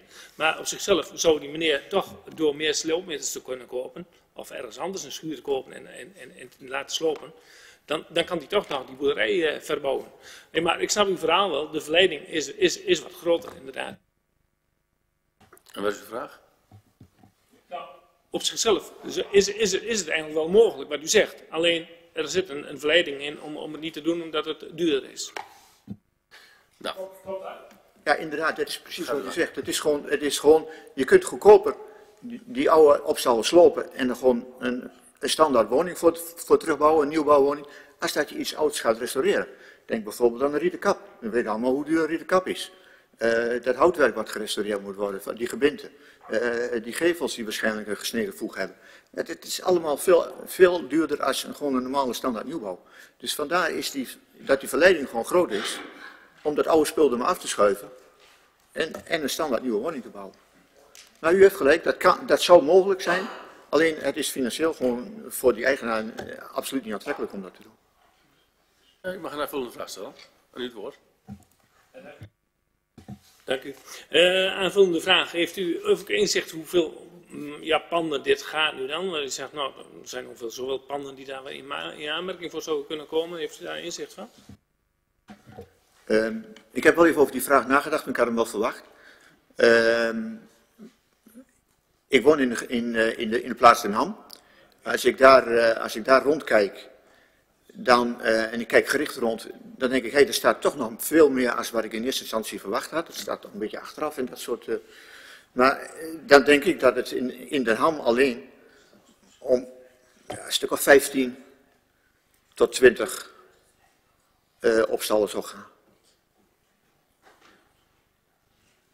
Goed, op basis van aannames moeten we dat maar niet doen, dan moeten we dat maar eens een keer absoluut maken. Hè? Dus voor, voor u ook een Precies. vingerspitsengevoel. Oké, okay. dank u wel voor uw inbreng. Dank u wel dat u de raad heeft uh, geïnformeerd over uw bijdrage. We zouden hem graag via de griffie van u ontvangen. Als u hem op schrift heeft. Is al dat kan via de bode. Ja. En dan komt dat naar ons toe. Dan kan de raad het nog eens een keer doorlezen. Als u de microfoon wilt uitdoen, dan gaan we door met het behandelen van dit agendapunt. En ik had al aangekondigd, uh, meneer Kerrijker, aan u het woord. Dank u wel, voorzitter. Uh, allereerst dank aan het college voor het voorstel. Het is een voorstel naar aanleiding van een in 2017 ingediende CDA-motie. En ik moet zeggen, wij moeten zeggen dat het een, een goede uitwerking is. Uh, maar je leest kritisch doorheen en toch een paar uh, zaken die, wij, die bij ons wat vragen opriepen. Uh, de uitwerking is uh, eigenlijk vergelijkbaar met uh, de uitwerking die in Tubbergen en Linkeland is gekozen. Als het gaat om het schuur voor schuur concept. Ik moet wel zeggen dat de beleidsnota schuur voor schuur in Dinkeland en Tubbergen vier pagina's beslaat. Deze beleidsregels beslaan 20 pagina's, dus dat zegt al iets. En dan kom je ook op een verschil, want als het gaat om de erventransitie uh, in de kernen, binnen de bebouwde kom, ligt het namelijk uh, in Twenterand nu, volgens dit voorstel, anders. In Dinkeland en Tubbergen wordt geen verschil gemaakt tussen transities in het buitengebied of in de bebouwde kom, maar in Twenterand wel. En dat is een beetje toch wel een, een, een bijzondere. Want in Twenterand is de erventransitie volgens onze lezing van het voorstel voorbehouden aan het buitengebied. Binnen de bebouwde kom wordt gesteld dat het ook wel mogelijk is, maar dat het dan maatwerk is en dat er teruggegrepen wordt op de beleidsregels planologische kruimelgevallen. Dan denk je aan de ene kant wordt dus uh, de, de, de ruimte, uh, eigenlijk de, de regelgeving beperkt. En zit hem dus, ja, dat in die, in die pagina dikke benadering van Twenterand toch wel heel bijzonder. Want de buitengebiedbehandeling die daarin staat, besluit dus 16 pagina's meer dan buiten en binnen, buiten, buiten kom, binnen de bebouwde kom in Nederland en. Bijzonder. Uh, vraag daarbij is, waarom is deze verschillende benadering gekozen? Was dat nodig? Waarom is er onderscheid gemaakt? En een tweede vraag, wanneer je uh, maatwerk inroept en beleidsregels planologische kruimelgevallen, dat hebben we in het verleden ook gemerkt, loop je dan niet het risico dat er willekeur insluipt? En als laatste opmerking, uh, met name dan richting de inbreng die de heer Klein Deter zo heeft gebracht. Welke mogelijkheden ziet het college hierin? En zou daar met betrekking tot de behandeling van het voorstel in de raad misschien dan nog ook nog eens op teruggekomen kunnen worden. En misschien hebben we daardoor wel wat vertraging, maar ik denk dat de inbreng de waardevol genoeg is om ook een plek te geven in, uh, al dan geen plek te geven in dit voorstel. Tot voorstel, zover voorzitter. Dank u wel, CDA-fractie, voor uw inbreng. Dan ga ik naar de GPT-fractie. Aan u het woord, meneer Laarman. Dank u, voorzitter. Ja, de rood voor rood regeling wordt omgezet in een uh, erventransitie gemeente Twentrand. Dit naar aanleiding van de motie schuur voor schuur. Zijn er nieuwe beleidsregels opgesteld om verpaupering van leegstaande schuren op het platteland tegen te gaan en stimuleren van sloop. En tevens een extra stimulant uh, te geven voor het uh, verwijderen van asbestdaken. Inwoners kunnen dan, wanneer ze een oude schuur afbreken, het recht krijgen om een vergunning voor een nieuw huis of schuur aan te vragen op dezelfde locatie of een andere locatie.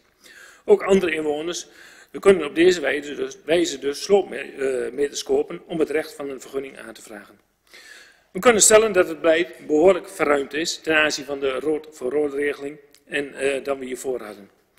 Een, een, aantal voorbeelden. De herbouwmogelijkheden zijn verruimd. De nieuwbouw voor FAP-locatie is mogelijk door inzet van sloopmeters. sloopmeters. Herbouw op een andere plek dan slooplocatie wordt makkelijker. Compensatiewoning mag gebouwd worden tot 900 kub, wat eerder 750 was. Een solitaire recreatiewoning kan omgezet worden naar een zelfstandige woning. En ook een inwoonsituatie, die, uh, die we vorig jaar ook hadden, uh, kan worden omgezet naar een zelfstandige woning door inzet van sloopmeters. De mogelijkheid van hergebruik van vrijkomende agrarische gebouwen wordt ruimer, doordat activiteiten die qua aard en uitstraling op één lijn te stellen zijn met de huidige mogelijkheden van een bestemmingsplan ook worden toegestaan. En tevens biedt het stuk de mogelijkheid tot een stuk maatwerk, zodat er uh, meer ruimte voor afwijkingsmogelijkheden is. En we denken dat dit, dit mogelijkheid van maatwerk een belangrijke factor is voor de slagen van de aanvragen, want geen erf, geen schuur of situatie is gelijk. Kortom, we zijn eigenlijk blij met de uh, nieuwe beleidsregels erventransitie. En er zijn tal van mogelijkheden om verpaupering tegen te gaan. En ons platteland aantrekkelijk en leefbaar en vitaal te houden. En we zijn ook blij dat de beleidsregels ook de mogelijkheid uh, biedt om een inwonersituatie omgezet kan worden naar een zelfstandige woning. En dat geldt ook voor inwoners uh, die een inwonersituatie hebben voor binnen het bouwde kom. Hier hebben we nog navraag naar gedaan. En ook zij kunnen de sloopmeters kopen om een woning om te zetten naar een zelfstandige woning. Een 200 in kap dus. Ten slotte, wij vinden een dergelijke omzetting dat het niet ten koste mag gaan van ons wooncontingent die de provincie heeft aangegeven. Op zichzelf verandert er niets. Er wordt geen nieuwe woning gebouwd, alleen de situatie verandert in twee zelfstandige woningen, 200 in kap dus. Uh, men, waar, maar men zorgt er wel voor dat de schuren in het buitengebied worden afgebroken door sloopmeters te kopen. Een win-win situatie en dit moet ook het belang van de provincie zijn, namelijk verpaupering op het platteland tegen te gaan. En we vinden dat uh, op deze manier de provincie ons beloond mag worden en vragen daarom het college dat ze zich hierover met de provincie in gesprek moet gaan, zodat dit niet ten koste van ons wooncontingent gaat. En als u het daar uh, prijs op stelt, dan zouden we ook een motie willen indienen, zodat de, de raad zich hierover uitspreekt, dat, dat eventueel een steun in de rug kan geven. Maar het is wel symbolisch. Over het algemeen zijn we zeer uh, positief over het verhaal en kunnen we eigenlijk akkoord gaan. Nou ja, de inbreng van de heer Kleine Deertes vind ik heel wel een eye-opener. Uh, ik ben benieuwd hoe het college tegenaan, sta, tegenaan kijkt, of dat ja, of dat simpel is om, om, om eventueel uh, toch nog oude bedrijven, historisch erfgoed, wel of niet, om toch nog de bepaalde uh, oude historische panden toch nog eventueel te kunnen redden van de sloop, omdat het eventueel ja, toch aantrekkelijker is om die te slopen dan wel niet, zoals de heer Kleine Deertes heeft uh, ingebracht. En we zullen er in de fractie ook nog even gaan bespreken. Ik wacht eerst even de antwoorden van de wethouder graag. U hoort een punt bij u. Ja. En de heer Jonker heeft een vraag. Meneer Jonker. Ja, dank u wel, voorzitter. Um, ik heb de bijdrage gehoord van uh, de heer Laaman. Uh, wij vinden ook een goed verhaal, maar ziet u ook nog uh, ruimte om een extra stimulans te geven voor de, de zittenblijvers? Kijk, er wordt heel veel aandacht gegeven aan de bebouwde kom en de buitenbebouwde kom als iemand gaat wijzigen. Hè. Er moet wat gesloopt worden en daar krijgen ze wat voor terug. Maar wat... Um, uh, voor, voor de mensen, de bedrijven die ook met een asbesthoudend dak zitten. Hoe- ziet u daar ook nog een extra stimulans? Ik heb hem niet kunnen vinden, ik ga hem straks ook vragen aan de wethouder. Maar eh, wilt u daar ook in meedenken? Nou, mooie inleiding. Wilt u daarin meedenken, meneer Laarman? Ja, dan moet, moet ik eerst even uw betoog afwachten. Eh, ja, er moet dan gesloopt worden. In, in, in eerste instantie moet er gesloopt worden om, om, om een weer een vergunning te krijgen. Of eh, iemand anders, bijvoorbeeld een inwoningssituatie, die zegt van nou, wij willen die, wel, wel die schuur gaan slopen of we daarmee mede betalen en krijgen daarvoor die sloopmeters. Maar dan is die schuur weg. Dus ik weet niet precies eh, eh, wat u bedoelt. Of, of, of mensen die dus nu daar wonen en... op welke eh, manier? Ik, ik, ik, ik wacht even uw inbreng af en eh, kom eventueel daarop terug, want ik, ik, ik snap uw vraag niet helemaal. Ik zie dat de heer Jonker dat akkoord vindt. Hij gaat naar zijn plek. Straks met de inbreng staat u misschien aan de andere kant. Dan stelt u hem de vraag maar aan, aan meneer Jonker. Goed, dank u wel meneer Laarman voor uw inbreng. Dan gaan we naar de ChristenUnie-fractie, meneer Huisjes. Ja, voorzitter, bedankt. De omgevingsvisie Overijssel biedt aan gemeenten beleidsruimte voor het bedenken en faciliteren van oplossingen die gericht zijn om verrommeling in het buitengebied tegen te gaan. Iets wat de ChristenUnie een goed plan vindt. De visie biedt de gemeente veel ruimte voor maatwerk. Voor een deel wordt van de, deze geboden ruimte door de gemeente Twenteland onvoldoende gebruik gemaakt.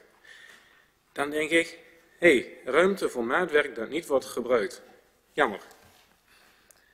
Dat maatwerk is volgens de ChristenUnie nodig om mensen te helpen die niet voldoen aan de voorwaarden voor een voormalig agrarisch bouwperceel of vrijkomend agrarisch bebouwing. Deze mensen blijven steken op 250 vierkante meter nieuwbouw, ondanks dat ze nu misschien veel meer hebben. De ChristenUnie is van mening dat de mensen die nu in het gebuitengebied wonen en daar schuren hebben die groter zijn dan 250 meter, deze ook mogen slopen en nieuw bouwen zonder daarvoor in 400 meters gekort te worden. Dit niet ongelimiteerd, maar in overleg met deze raad vast te stellen tot nou, zeg maar 1500 meter. In de motie schuur voor schuur verzoekt het college de regeling voor wat betreft oppervlakte van herbouw na sloop zo ruim mogelijk op te zetten. Te slopen vierkante meters uit het buitengebied mogen worden ingezet voor het bouwen van een woning binnen de bebouwde kom, mits de locatie vanuit het oogpunt van een goede ruimtelijke ordening aanvaardbaar is. Komen deze woning dan ook op de plek van de reguliere bouwkavels in de kernen? En gaat dit ten koste van de geplande woningbouw? Als ik door het buitengebied fiets en om me heen kijk, dan zie ik daar heel veel gebouwen staan die in aanmerking komen om geruild te worden. Heeft de gemeente er zicht op hoeveel leegstaande gebouwen er op dit moment in Twenteland staan die in aanmerking komen om geruild te worden? En welke consequenties heeft dit voor de geplande woningbouw? Ik ben benieuwd naar de reactie van raad en wethouder.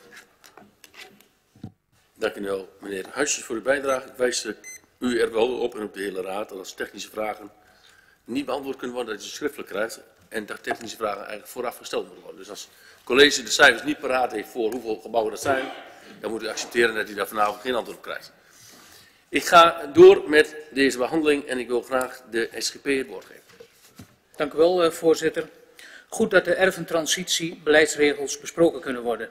Het huiswerk is gemaakt. Dit mede naar aanleiding door de Raad unaniem aangenomen motie in juli 2017. De constateringen en overwegingen van die motie zijn nog steeds actueel. We willen allemaal verbetering van de ruimtelijke kwaliteit door de sloop van leegstaande schuren, maar ook ontwikkelingen van economische activiteiten om het platteland leefbaar te houden.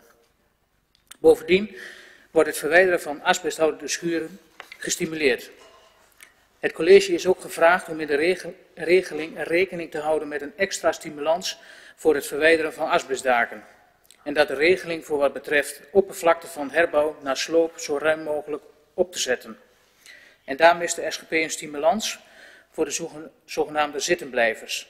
Voor de eigenaren die gaan veranderen, wordt nu wat op touw gezet. De doelen die we met elkaar willen bereiken en waar ook de motie op doelt, zijn toch ook voor de eigenaren die niet veranderen in hun situatie. Dan gaat het om eigenaren, bedrijven, boeren, burgers, die binnen of buiten de bouwde kom met panden met asbestdaken die zij beter kunnen slopen en vernieuwen, maar dit niet doen omdat ze dan gekort worden op het aantal vierkante meters wat ze terug mogen bouwen. Zo wordt ook de kans gepakt om een regeling op te nemen die de beperking als het gaat om sloopherplaats van het bouwwerk in het kader van asbestsanering op te heffen. Misschien zou daar een, ook maatwerk op geleverd kunnen worden, maar wat houdt het dan maatwerk dan in? Als dit niet beoogd wordt, ja, dan krijg je dat met maatwerk ook niet voor elkaar. En zo krijgen we voor de burgersbedrijven dezelfde rechten en de situatie kunnen blijven bestaan. Vooral ook als het gaat om bedrijfsmatige panden. We willen toch ook in economisch opzicht het platteland leefbaar houden. De SGP zou graag willen weten hoe andere partijen hier tegenaan kijken en wat de reactie van het college is. Een ander punt waar de SGP behoefte heeft aan nadere duiding van het college is het volgende. Met de provincie wordt overleg gevoerd over de compensatiewoningen. Uh, de heer Laman gaf daar net ook al aan, dus daar sluit ik mij compleet bij aan. Dus uh, wat meneer Laman, dus dat stuk uh, sla ik over, want wij willen ook graag duidelijkheid hebben over wat het college dan voor ogen heeft. Welk scenario volgt u? verder lazen we in een van de inspraakreacties over een intergemeentelijke regeling. In regionaal verband is er een regeling in voorbereiding. Over welk regionaal verband hebben we het dan en wat zijn de contouren van die regeling? En verder is het college bereid om een jaar na de ingang van de regeling ons een stand van zaken te geven wat die regeling ons heeft gebracht in Twenterand. Dank u wel. Dank u wel, heer Jonker, voor uw bijdrage. Dan ga ik door met de VVD-fractie. Meneer Kopers, aan u het woord. Ja, dank u, voorzitter. Uh, de VVD heeft kennis genomen van deze nota en we kunnen daar ook mee instemmen. Ik wil ook niet in herhaling vallen met wat er allemaal gezegd is, dus ik beperk mij eigenlijk tot de inbreng van de heer Kleine Deters. En eigenlijk uh, is mijn vraag van, uh, klopt de conclusie zoals de heer Kleine Deters die stelt? En of zijn er mogelijkheden waarbij de bestaande boerderijen kunnen worden behouden, zoals in het groene voorbeeld? Of zijn er straks mogelijkheden via die omgevingsvisie, zoals ook al wordt gesuggereerd in de mail van de afdeling omgeving? Met andere woorden, moeten we een aanpassing maken in deze nota in de vorm van bijvoorbeeld een extra vrijstelling of beperking van het te slopen aantal vierkante meters bij behoud van oude streekeigen bebouwing of zijn er via deze nota toch mogelijkheden? Vraag is dan wel uh, waar je de grens legt en welke bebouwing daar dan voor in aanmerking zou moeten komen. Dank u wel. Dank u wel, heer Kobus. Dan kijk ik naar de kant van het college. Kunt u direct reageren, meneer Koster? Zonder schorsing? Nou, kijk, fantastisch. Ik wil u graag de gelegenheid geven om te reageren op een aantal vragen. Er zijn wat clustervragen, die kunt u in één beantwoorden, maar ik wil graag aan u het woord geven.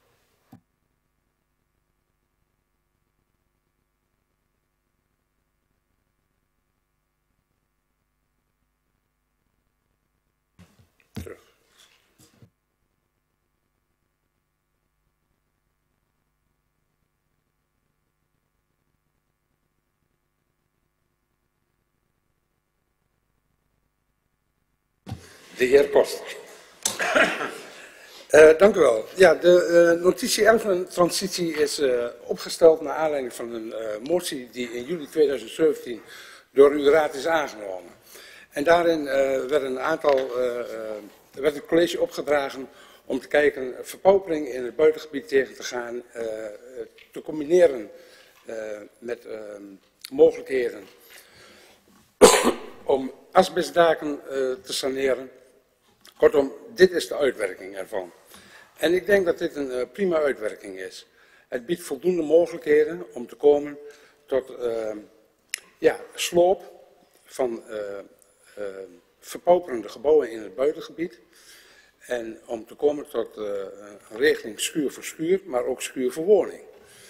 Als je het uh, vergelijkt met uh, de voorgaande regeling zoals wij die kennen, rood voor rood, waarin uh, werd gekeken van ja, wat is nou de waarde op de meerwaarde wanneer je een woning kunt krijgen en je trekt de sloopkosten daarvan af, dan blijft er een x bedrag over en in de voorgaande regeling was het zo dat je dat bedrag gewoon moest gaan investeren in, in kwaliteitsimpuls groene omgeving.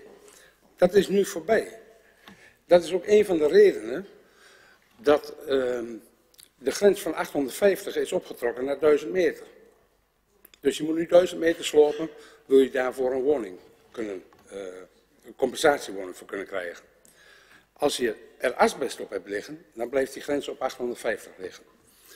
Kortom, een verbetering, want er hoeft niet extra geïnvesteerd te worden in uh, een groene omgeving. Dat alles uh, gezegd hebbende, uh, zie ik deze uh, notitie als een aanmerkelijke verbetering in vergelijking bij de rood voor rood regeling. Als we dan kijken wat de reacties zijn van, nou in eerste instantie wil ik wel even ingaan op wat de heer Kleine Deters inbracht die haalden toch een aantal dingen door elkaar. Uh, ik heb mij beperkt tot de uitwerking van de motie. Daarin was geen sprake van cultureel erfgoed. De stichting Twentse Erven is mij bekend. Ik heb daar onlangs een kennismakingsgesprek mee gehad. Een stichting die zich inzet voor behoud van inderdaad uh, kenmerkende Twentse erven. Die weliswaar geen rijksmonument zijn of een gemeentelijk monument. Maar die uh, in het kader van de Twentse erven dat belangrijk vinden dat deze in stand blijven.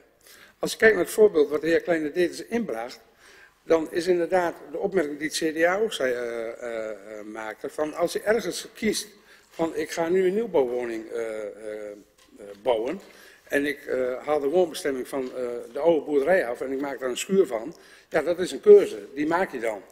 En als je dan zegt, ja, twintig jaar later vind ik het toch wel een, een cultureel erfgoed, en ik zou daar wel weer een woonbestemming op willen hebben. Ja, uiteindelijk in de vraagstelling naar de heer Kleine Deeters komt dan toch eigenlijk in mijn beleving wel een beetje de aap uit de mouw. Namelijk dat het een kwestie van geld is. Uh, ja, als je het nu wilt doen, ja, kost het extra geld. Maar wat is dan de drijfveer? Is dan geld de drijfveer of is het behoud van het cultureel erfgoed de drijfveer? Dat is dan een vraag die je zou kunnen stellen. Um, overigens biedt deze regeling wel de mogelijkheid om een dergelijke woning, om alsnog weer een woonbestemming op te krijgen. Namelijk als uh, de betrokken eigenaar van uh, uh, de verpauperde boerderij sloopmeters koopt, dan mag hij daar dus prima weer een woning tot stand brengen. En dan ontstaat er inderdaad ook weer die meerwaarde. Dus op zich biedt deze regeling daartoe wel de mogelijkheden. Overigens wil ik uw raad ook nog opmerken dat dit college ook aan het werk is om te kijken, ook in het kader van gemeentelijk vastgoed, van hoe gaan we om met cultureel erfgoed binnen onze gemeente. En ik hoop dat we in, nou, ik wil niet zeggen dit jaar, maar wij gaan in ieder geval in deze coalitieperiode komen met een voorstel daarover naar uw raad toe. Hoe daarover mee om te gaan. Dus ik zie geen noodzaak om dit moment, en volgens mij was dat een vraag die de heer uh, stelde, zijn er mogelijkheden om dit onderdeel in te brengen in deze uh, uh, notitie? Nee, daar zie ik op dit moment geen aanleiding toe. Even kijken, welke vragen zijn er gesteld? Uh, ja, de heer Kerkdijk zegt, uh, hij wijkt af van de regeling Tubberg en Dinkeland. Ja, uiteraard. We hebben een specifieke regeling gemaakt hier voor Twenterand. en in de motie stond ook in de inleiding van schuur voor schuurregeling richting Tubbergen en Dinkeland als voorbeeld. Die was alleen voor agrariërs, hier is die nog breder. Dus in die zin verschilt hij eigenlijk in positieve zin als we het zo willen bekijken. Maar goed, uiteindelijk heb ik mij beperkt tot de opdracht en het verzoek aan het college. En daaraan beantwoordt deze uh, notitie prima. Even kijken, welke waarde... Willekeur bij maatwerk. Ja, dat, dat vind ik uh, toch een lastige. Kijk, iedere situatie verschilt en ik geloof niet dat je dan moet spreken van willekeur. De notitie biedt de mogelijkheid tot maatwerk. Maar dat wil niet zeggen dat we daar al bij, uh, bij voorbaat van uitgaan. We hebben een regeling waarin keurig staat met, uh, met staffels, uh, hoe we mee omgaan. Grootte van de schuur, wat mag je daarvoor terugbouwen? Als de schuur zo groot is, dan telt zoveel mee. kortom, ik zie op dit moment geen enkele aanleiding voor willekeur. Dan die inbreng, vroeg u om daarop te reageren van kleine, de heer Kleine Deters. Ik denk dat ik dat voldoende heb gedaan. Dan zegt de GPT-fractie van ja, de won woningcontingenten. En eigenlijk de SGP sluit daar ook wel op aan. Nou, u mag er zeker van zijn. Um, kijk, als we binnen onze gemeente kijken, dan uh, zie ik inderdaad dat bijvoorbeeld de kern Den Ham waarschijnlijk uh, uh, meer gebruik zal gaan maken van deze notitie dan bijvoorbeeld de kern Friesenveen. dat zou dus betekenen, en antwoord geven op de vraag, ja, de uh, compensatiewoningen tellen mee uh, als, voor wooncontingenten. Zijn we daar blij mee? Nee, totaal niet. Ehm, gaan we daar wat aan doen? Jazeker. Wij gaan met de provincie er zeker in overleg om te kijken van, ja, is dat nou reëel, is dat niet reëel? En terecht, een van de uh, raadsleden merkt ook op, van je, je werkt aan enerzijds aan een verbetering van de ruimtelijke kwaliteit in het buitengebied, daar, daar leef je een inspanning voor. Uh, is het dan reëel om dan je te korten op de wooncontingenten? Daarbij komt ook overigens dat uh, als, je, als je in het buitengebied uh, compensatiewoningen gaat creëren, dat het wel afgaat van je uh, woningcontingenten binnen de bebouwde kom. En voor een ken als Den Ham zou dat toch wel heel vervelend zijn. Dus u mag erop vertrouwen dat we als college daar het al het mogelijk aan zullen doen om daarover met de provincie in gesprek te gaan. Even kijken. Ja, de ChristenUnie heeft over maximaal 250 meter uh, uh, uitbreiding. Maar uh, op dit moment is het 100 en het gaat tot 250. Dus in feite is het een uitbreiding. Dus u zegt het is een beperking, maar bestaande bijgebouwen tot 100 meter kun je straks vergroten tot 250 meter. Dus dat is toch een aanzienlijke verbetering. Daarnaast is het zo dat wanneer je in de huidige situatie zegt van ik heb een schuur van 1000 vierkante meter, ik wil daar nieuwbouw plegen, is er geen enkel probleem. Dus is één op één. Dus ik zie daar niet zozeer het probleem in. Dan even kijken. Meneer Koster. Ja. Om te voorkomen dat de heer Laman zijn vraag kwijt is, wil ik hem graag de gelegenheid geven uw vraag te stellen. Maar hij is ook eens zijn pasje kwijt, dus dan raakt hij zijn vraag nog kwijt. Maar nu het woord. Dank u voorzitter, dat valt mee. Uh, even terugkomen over uh, de, het wooncontingent en de, en de compensatiewoningen. Uh, de inwoning, de inwoning die heeft dus ook, als hij sloopmeters koopt, dan kan hij eigenlijk een eenwoning omzetten in een 2, 200 kap in principe. In principe verandert dan eigenlijk niks. En dan zeg ik ook van ja, provincie, hmm, zo'n woning telt toch eigenlijk niet mee. En mijn vraag is van, het was niet heel helder of een compensatie, of dat ook onder een compensatiewoning valt of niet. Uh, is zo'n één woning die dan verandert onder in, in een twee kap, moet die dan, wat telt de provincie die mee? Het is misschien een beetje een technische vraag, anders dan hoor ik later graag het antwoord op. Meneer Koster. Nou, dat is geen technische vraag, ik kan het antwoord uh, vlot geven. Ja, die telt mee. Want je creëert een nieuw wooncontingent. En het is weliswaar dezelfde woning, maar hij, hij telt wel mee. Andere vraag? Nou, niet, niet opmerking, maar wij, uh, wij, wij steunen u van harte in uh, dat u dat gesprek met de provincie aangaat en uh, ja, dat u daar succesvol in wordt. En ja, eventueel, ik had gezegd van eventueel een motie, maar ja, het is symbolisch. Ik denk dat de hele raad wel op dezelfde, hetzelfde is, dat we dat voor zijn dat we eigenlijk niet vinden dat u mooi meer moeten tellen in een wooncontingent, maar ik, ik weet niet of er behoefte aan is. Om een, een, een motie om te steunen, maar ik denk het niet. Kosten. Nou, op dit moment zie ik dat ook niet, uh, niet als een noodzaak. Uh, laat ik het zo zeggen, ik ben ook uh, portefeuillehouder in het ruimtelijk domeinplatform van de VNG Overijssel. En ook dit onderwerp zal ik daar ook aan de orde stellen. Overigens is het wel zo natuurlijk dat met name de plattelandsgemeenten in Overijssel hier meer behoefte aan hebben dan bijvoorbeeld de stedelijke gemeenten. Meneer Huisjes, u heeft ook een vraag? U stelt dat bijgebouwen van 100 naar 250 meter mag. Maar iemand die nu al 300 of 400 meter heeft en oud en op is en die wil slopen en wil nieuw bouwen, die blijft ook op 250 meter steken. Terwijl die nu 300 of 400 heeft. Ja, ik kan me vergissen, maar uh, vanuit de kennis die ik nu heb is het zo dat als ik een schuur van 500 meter heb en die ga ik slopen om nieuwbouw te plegen, is dat in mijn beleving geen enkel probleem. U, u, zegt net in uw eerste beantwoording, dat is dan één op één. Ja. Heeft u nog een aanvullende vraag? Die nieuwbouw geldt volgens mij alleen voor uh, agrarische bebouwing die wordt afgebroken. En uh, voormalig agrarische. Maar oh, u hebt het over voormalig... Vraag via de voorzitter, anders krijgen we chaos. U eerst uw vraag afronden en dan krijgt u het voor meneer Koster. Voor iemand die nu een uh, vrijkomend agrarisch gebouw heeft, is dat inderdaad waar. Maar iemand die dat niet heeft en nu toch wel meerdere gebouwen bezit, geldt dat niet. En die verruiming zou ik ook graag willen zien. Meneer Koster. Uh, ik denk dat de vraag mij niet helemaal helder is. Uh, dan verzoeken we de heer Huisjes om dat nader te specificeren schriftelijk, zodat u daar dan op kunt reageren. Voor de beraadslaging. Dat lijkt me goed plan, ja. Prima. Meneer Jonker. Dank u wel, uh, voorzitter. Um, de wethouder gaat uh, heel erg in op um, het buitengebied. En de regeling die zo uh, voor ligt, hè, daar is ook een gigantische goede stap de goede richting in. Maar die motie die wijst ook op verpaupering van panden binnen de bebouwde kom. En zojuist wat de heer Huisjes ook al aangaf, um, je mag, hè, wat u net ook zei van, je mag als je afbreekt één op één terugbouwen. Nou, dat is binnen bebouwde kom niet aan de orde.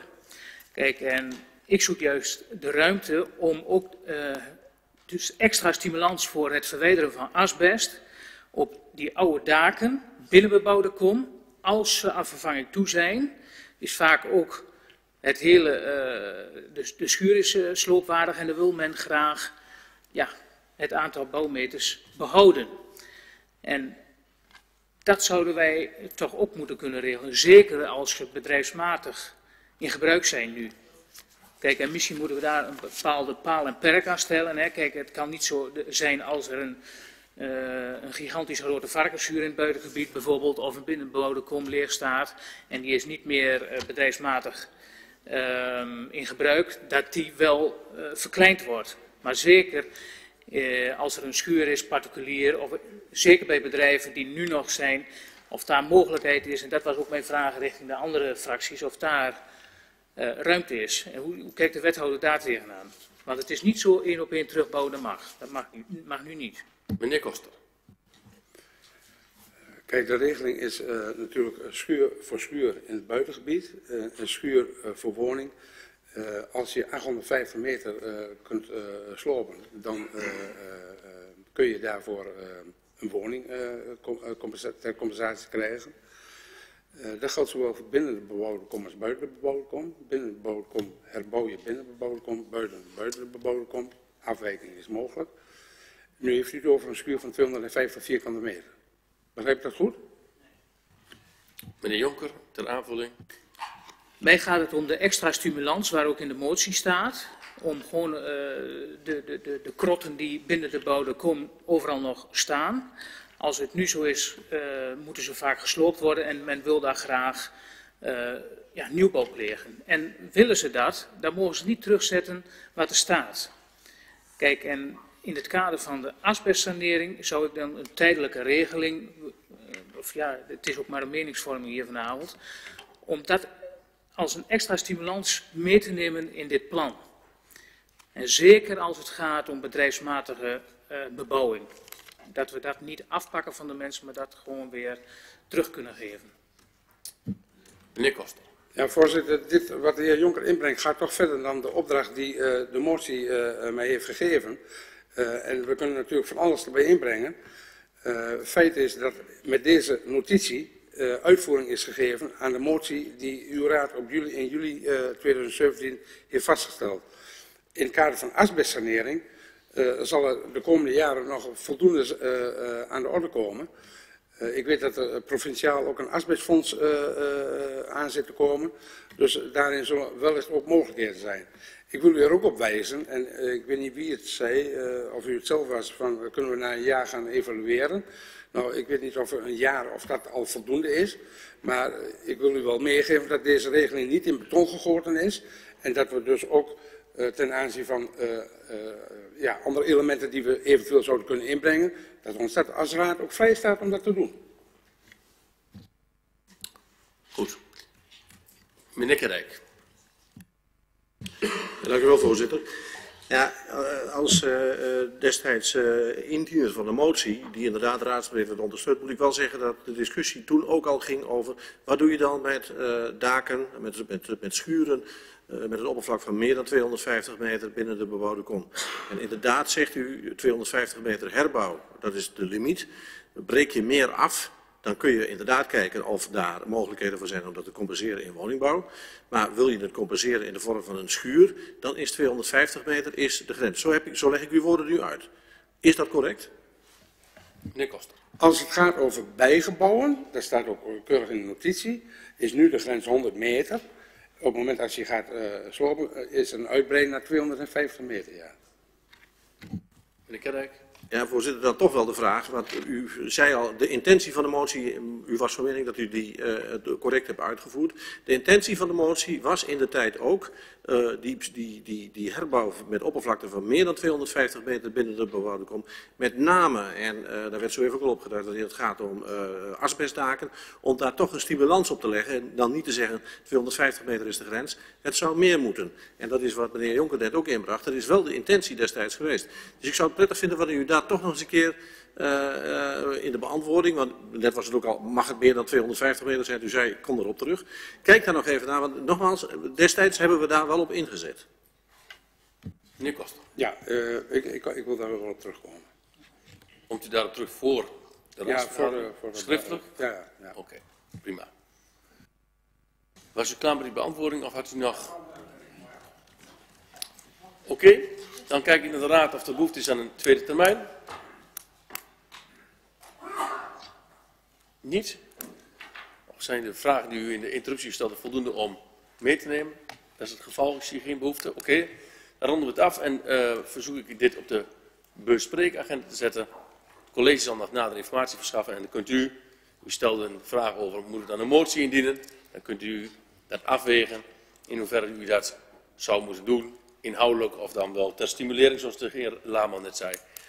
Wat mij betreft ronden we dit agendapunt dan bij deze af. Dan gaan we naar agenda punt 4. Inwoning en harmonisatie van woonbegrippen. En daarvoor heeft uiteindelijk alleen de SGP zich gemeld. Zowel de CDA-fractie als de ChristenUnie-fractie hebben nader inzien zich daarvoor afgemeld. Meneer Jonker, aan u het woord. Dank u wel, uh, voorzitter. Het gaat hier om inwoning en harmonisatie uh, woonbegrippen. Door in te stemmen met dit ontwerpbestemmingsplan wordt er eenduidigheid in de regels gecreëerd en sturing geboden aan bijzondere woonvormen. In de huidige bestemmingsplannen is bij recht toegestaan dat meerdere huishoudens één woning bewoonden. De leidende gedachte is in beginsel één huishouden per woning, maar die is blijkbaar juridisch niet houdbaar, zo vraag ik de wethouder. Dat er duidelijkheid moet zijn, betwist de SGP-fractie niet. Welk praktisch probleem wilt u met dit voorstel oplossen? In de argumentatie die u geeft blijft het wat vaag en technisch. Het gaat over begrippen. In het plan wijst u naar recente uitspraken van de Raad van State. Nou ja, wat recent is, er wordt verwezen naar een uitspraak van 2016 en 2012. En dan gaat het om een zaak die zich afspeelt in Maasluis en Breda. Wanneer ik deze uitspraken lees, dan gaat het voornamelijk over zaken met overlast en arbeidsmigranten. Kan de wethouder ons concreet aangeven welke problemen er met in Twenterand zijn die met dit voorstel opgelost worden? In het nieuwe plan is geen overgangsrechtbepaling opgenomen. Waarom niet? Kunnen eigenaar geen planschade indienen? Is het u om te doen om de arbeidsmigranten die nu her en der in de gemeente worden uit de woning te jagen? En gaat u dat dan handhaven? Kamerverhuur en bewoning voor tijdelijke arbeidsmigranten zijn nu toegestaan. Wilt u daarvan af? Er kan bij afwijking mogelijkheden inwoning worden toegestaan. Dat betekent voor een ander huishouden. Volgens de definitie valt de arbeidsmigranten hier niet onder. Worden die dan met dit voorstel niet gediscrimineerd? U geeft aan dat maatwerk mogelijk blijft, maar in feite is dat een wassen neus. Want als de arbeidsmigrant ongewenst is, zal dit maatwerk ook niet geregeld worden. Daarom de vraag, wat je ook van de arbeidsmigrant vindt. Feit is dat we niet zonder hen kunnen. De arbeidsmigranten zullen toch ook een deugdelijke en betaalbare huisvesting moeten vinden. Worden de arbeidsmigranten met dit plan in feite op straat gezet? Hoe wil de gemeente dan de arbeidsmigranten dan huisvesten? Dit voorstel geldt alleen voor de bebouwde kom en niet voor het buitengebied. Geldt deze problematiek dan niet in het buitengebied? Of wilt u graag de problemen binnen de bebouwde kom verplaatsen naar het buitengebied? Nogmaals, de SGP-fractie is niet tegen regulering en verbetering, zeker ook als het gaat om de inwoning, wat nu kan plaatsvinden. met, een, met een eenvoudige procedure om zo de mantelzorg ook makkelijker mogelijk te maken voor onze inwoners. De SGP wil graag helder hebben waarover we het hier hebben. Met andere woorden, welke praktische problemen we met dit voorstel in Twenterand oplossen. En dat tegen de afweging van welke praktische problemen we hiermee gaan creëren. Denk aan juridisch getouwtrek met pandeigenaren en de huisvesting van arbeidsmigranten. Tot zover, voorzitter. Dank u wel. Dank u wel, meneer Jonker, voor uw bijdrage. Er zijn veel vragen. Meneer Koster, heeft u ze allemaal opgeschreven? En kunt u ze allemaal beantwoorden?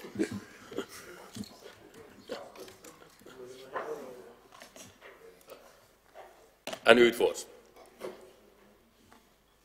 En de heer Jonker zal zelf registreren welke vragen er niet beantwoord worden. En hij helpt u mij vast een handje, maar ik heb ze ook niet allemaal opgeschreven. Ja, voorzitter. Aan u het woord. Voorzitter, eigenlijk is dit, ehm, ehm, dit plan, dit parapluplan zou, zou je kunnen zeggen, paraplubestemmingsplan, is ingegeven vanwege het feit dat nu in de huidige bestemmingsplannen binnen de bebouwde kom uh, telkens gesproken wordt over woning. Dat is niet nader gedefinieerd. Dat betekent dat er heel veel ruimte is en dat heel veel uh, uh, dingen kunnen gebeuren. Dat, dat refereert dus deze notitie aan dat er jurisprudentie is van de Raad van State voor wat betreft die betekenis. En dat je daar dus meer betekenis aan moet geven. Nou, dat hebben we beoogd met dit facetplan. En het is een kleine wijziging. Er zijn een aantal begrippen die nader gedefinieerd zijn. Uh, waarom een facetplan? Omdat het zodanig klein is dat het onnodig is om alle procedures te doorlopen. En het geldt nu over uh, alle plannen binnen de bebouwde bo komkernen. Ja, er zitten een aantal dingen zitten er inderdaad in. de definities van huishouden, definities van, ik moet hem er even bij pakken, inwoning,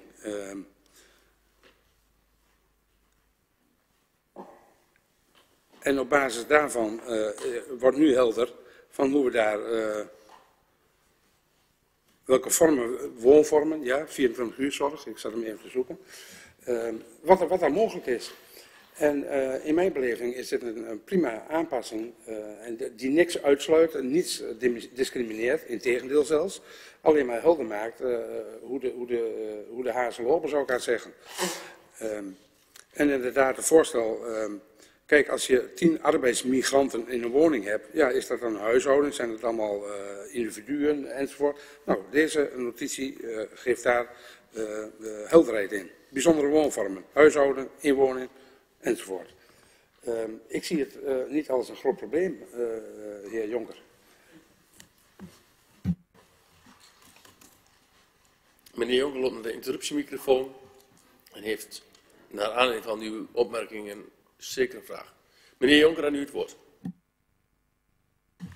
Ja, voorzitter. Um, het gaat er mij concreet om uh, waarom u nu met zo'n plan komt. Welk praktisch probleem hebben we hier in Twenterand? Het gaat om begrippen. En het gaat er mij ook niet om uh, wat, de definitie nou precies is van welke woonvorm. Maar uh, wij zijn bang dat er bijvoorbeeld op het gebied van arbeidsmigranten, die, hè, u noemt het voorbeeld, tien in een woning kunnen zijn. En dat is soms een probleem, maar het staat in dit voorstel niet als probleem benoemd. Het gaat er ons om van, wat lossen we hier nou met dit voorstel op? Het gaat nu alleen maar om begrippen. En ik ben bang dat er pandeigenaren zijn die nu uh, mensen huisvesten, daarin tegen in het geweer komen. En wat is dan de zaak? Hebben ze dan een claim of hoe gaat het dan? Laten we het houden bij de vraag van we lossen nu concreet op. Ja. Aan u het woord. Uh, wij lossen uh, niets op in die zin, we hebben geen probleem. En ten einde problemen te voorkomen hebben we deze uh, facetplan aan u voorgelegd. Ja, voorzitter, dan is het oh, eigenlijk onzin wat hier gebeurt. We lossen geen probleem op, dus waarom behandelen we dit? Dus hè, gooi maar in de prullenbak.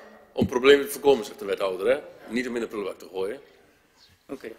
Om problemen te voorkomen. En, welke, en wat is dan een concreet probleem? Uh, dat is mij niet helder. Ik, ik, wil niet per definitie zeggen, zeggen dit is een debat. Uh, en ik tast alleen maar af van welk probleem hebben we het hier over? Waar, waar, waar bent u bang voor? Ik ben bang voor de pandeigenaren die straks in het geweer komen. Meneer Koster. Het is zo, uh, ik heb daar vandaag nog even naar gevraagd, hè, van, uh, uh, is het zo dat bestaande situaties hierdoor in een probleem kunnen komen? Nee, dat is niet het geval. en ik, ik wijs u er nogmaals op, doordat wij de definitie wonen niet goed hebben opgenomen in de huidige bestemmingsplannen en de Raad van State in haar jurisprudentie zegt dat je dat wel zou moeten doen, daarom hebben we dit plan aan u voorgelegd. Hebben wij op dit moment een probleem? Nee, gelukkig, we hebben geen enkel probleem. Voorkomen we mogelijkwijs hiermee een probleem? Ja, in de toekomst kan dit ons helpen om problemen te voorkomen. Dat is het hele verhaal. Dank u wel, meneer Koster. Ik vraag meteen aan u of u nog een tweede termijn wilt, meneer Jonker. Dat is niet het geval. Dan handelen we dit agendapunt af. Ik vraag ook aan u of we dit op de akkoord of de bespreekagenda moeten zetten. Akkoordagenda? Dan zetten we op de kooragenda bespreekagenda. Andere partijen mee eens? Bespreekagenda. Oké. Goed, dan gaan we door naar agenda punt 5 voor deze avond. En daarop staat de exploitatie en ontwikkeling van de locatie Smithoek en de locatie Mozaïek. Waarvoor zich melden GBT, CDA, SGP. Dan ook maar in die volgorde. Meneer Laman, aan u het woord. Dank u voorzitter. Ja, wij vinden eigenlijk het, uh, dat het prima, uh, prima, is dat het college deze inbreidingslocaties zelf voortvarend oppakt en gaat ontwikkelen. Want over het algemeen zijn uh, inbreidingslocaties duurder dan uitbreidingslocaties. En wanneer dit aan een projectontwikkelaar wordt uitbesteed, werkt er nog meer kostenverhogend in de hand. Een projectontwikkelaar wil uiteraard ook een boterham verdienen. Door deze locaties zelf te ontwikkelen, hou je de snelheid erin, je houdt zelf de regie over, de kwaliteit en diversiteit, voor met name deze beeldbepalende locaties in de kernen van onze dorpen. Een lagere uh, kavelprijs is ook niet onbelangrijk. De gronden zijn toch al in eigendom van de gemeente, er behoeft dus niet worden aangekocht. En gezien de belangstelling en de vraag die er momenteel is, zoals de massale opkomst voor verdere ontwikkeling van Zuidmaat 3, die onlangs uh, uh, dat er een informatieavond voor was, zien wij in onze optiek de, ook niet grote risico's. En ja, ik heb dit uh, al eerder voorbereid, uh, voorzitter. Ten aanzien van het mozaïekterrein wouden we eigenlijk een in meegeven. En misschien zijn hier mogelijkheden om te kunnen uh, gebruik te maken van het warmtenet. Maar ja, nu komt er net vanmiddag een persbericht die dezelfde suggestie, suggestie doet om warmte, restwarmte van bakkerij Holland te gebruiken voor eventueel de verwarming van woningen. En ik denk dat uh, het mozaïekterrein een ideale situatie is om dat te gaan aanleggen. Gezien de grote vraag naar woningen momenteel is het volgens ons ook goed dat het college voorsorteert op volgende uitbreidingen, uitbreidingen in een aantal kernen en in het bijzonder. Want voordat er gebouwd kan worden zijn we zo weer een paar jaar verder. En regeren is vooruitzien. Wat het GBT betreft, uh, wethouder, Succes met deze twee projecten en een aantrekkelijke kavelprijs zal een belangrijke sleutel voor het succes zijn. Dus hou die laag. Dank u voorzitter. Dank u wel meneer Laman. Dan wil ik uh, CDA meneer Kenteg het woord geven. Dank u wel voorzitter. Ook wat het CDA betreft uh, prima ontwikkeling. Uh, de twee locaties worden in eigen beheer ontwikkeld en ik moet wel zeggen de kosten die daarmee gemoeid zijn, 115.000 euro voor Mozaïek en 260.000 euro voor Smithoek, roepen wel de vraag op uh, of dat met interne of externe projectleiders gaat. Ik zal de vraag niet formeel inbrengen, maar ik kan me er iets bij voorstellen. En wie weet komen we dat op het overzicht van volgend jaar wel weer tegen, maar dat even terzijde. Als je inhoudelijk naar het voorstel kijkt, uh, roept het wel de vraag van ja, moet je dit zelf doen of moet je dit bij een projectontwikkelaar onderbrengen? En eigenlijk is dat wel een, een punt van, uh, van aandacht, een punt van zorg. Want wij kunnen dat niet beoordelen. Er wordt alleen geld uitgevraagd, maar een onderbouwing of een inschatting wat deze projecten opleveren, zit er niet bij. Eigenlijk vraagt u dus een blanco cheque. En daar hebben we als CDA wel problemen mee. Want waarom is er geen eerste opzet van de exploitatie meegezonden om het voorstel meer handen en voeten te geven?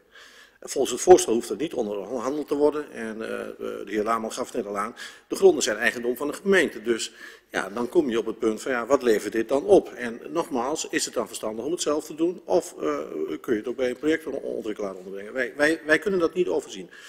Kunt u ons met name over die exploitatie daarom nader informeren? En op zich is dit toch ook wel weer een nieuw fenomeen dat we dit soort projecten zelf in ontwikkeling nemen. Daarom ook de vraag of in de toekomst bij dit soort besluitvorming wij ook in een eerder stadium of zelfs op voorhand geïnformeerd kunnen worden. Niet alleen over de kosten, maar ook over de ingeschatte opbrengsten. Tot zover. Dank u wel. Volgens mij heeft u een interruptie, hè? Ja. Meneer Laman heeft een interruptie. Misschien kunt u nog even teruggaan naar de microfoon. Meneer Laman. Ja, uh, ten aanzien van projectontwikkeling. Ik denk juist dat het uh, een projectontwikkelaar prijsverhogend uh, in de hand werkt. En daarom zijn we content dat het de gemeente zelf oppakt. En, en, juist daarom die kavelprijs volgens mij lager kan houden dan door middel van projectontwikkeling. Want die willen ook een, een boterham verdienen. En die zetten er toch een extra stuiver bij op, ons inziens. Van stuiver, meneer Kenning, denk ik geen probleem. Maar u het Ja, al uw reactie, dan weet u waarschijnlijk meer dan ik, dan wij. Want u gaat ervan uit, maar wij, kennen de, wij hebben de informatie niet. Misschien hebt u gelijk. Mijn pleit is alleen dat soort informatie bij dit voorstel te voegen. Dan kun je het overzien. Dank u wel, heer Kerrijk, voor uw beantwoording. Dan gaan we naar de SGP-fractie. Meneer Jonker, aan u het woord. Dank u wel, eh, voorzitter. In feite dezelfde vraag die het CDA zich ook af, uh, afvraagt.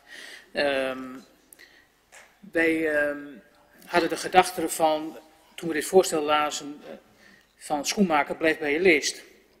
We hebben een grondbeleid en waarom wijken wij daarvan af? En als ik dan de argumentatie bekijk van het college, uh, die loop ik dan even langs, meer regie op de kwaliteit. Nou, daar kun je toch ook goed vastleggen in het plan van eisen, wensen richting projectontwikkelaars. Uh, meer regie op de planning. Ook wat dat betreft zijn er toch afspraken te maken met marktpartijen. Die kunnen dat misschien nog wel veel beter dan dat de gemeente dat kan. En dan wat betreft het risico om zelf de exploitatie te maken of uit te voeren. Die is gering, maar in de kanttekening geeft u aan dat er sprake is van risico. Uh, dat, dat toch de gedachte van schoenmaker blijft bij je leest. En zet uh, in op de kentaken wat de gemeente moet doen. Dit is misschien ja, ondernemertje spelen, maar laten we dat aan de markt over. Dus wij zijn eigenlijk een beetje uh, aan het aftasten van ja, er is ook wat summiere informatie van ja, met dit voorstel van ja, moeten we dat nu zelf gaan doen? Daar hebben wij eigenlijk geen voldoende inzage in om welke risico's het gaat. En verder de vraag, er is al een keer eerder gesproken over de locatie gereformeerde kerk. Um, we weten uh, met z'n allen dat daar wel gesprekken uh, over uh, gaande zijn. Waarom is dat nu niet integraal meegenomen in dit plan?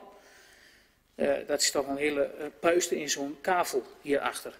Ook daar graag uw reactie op. Dank u wel.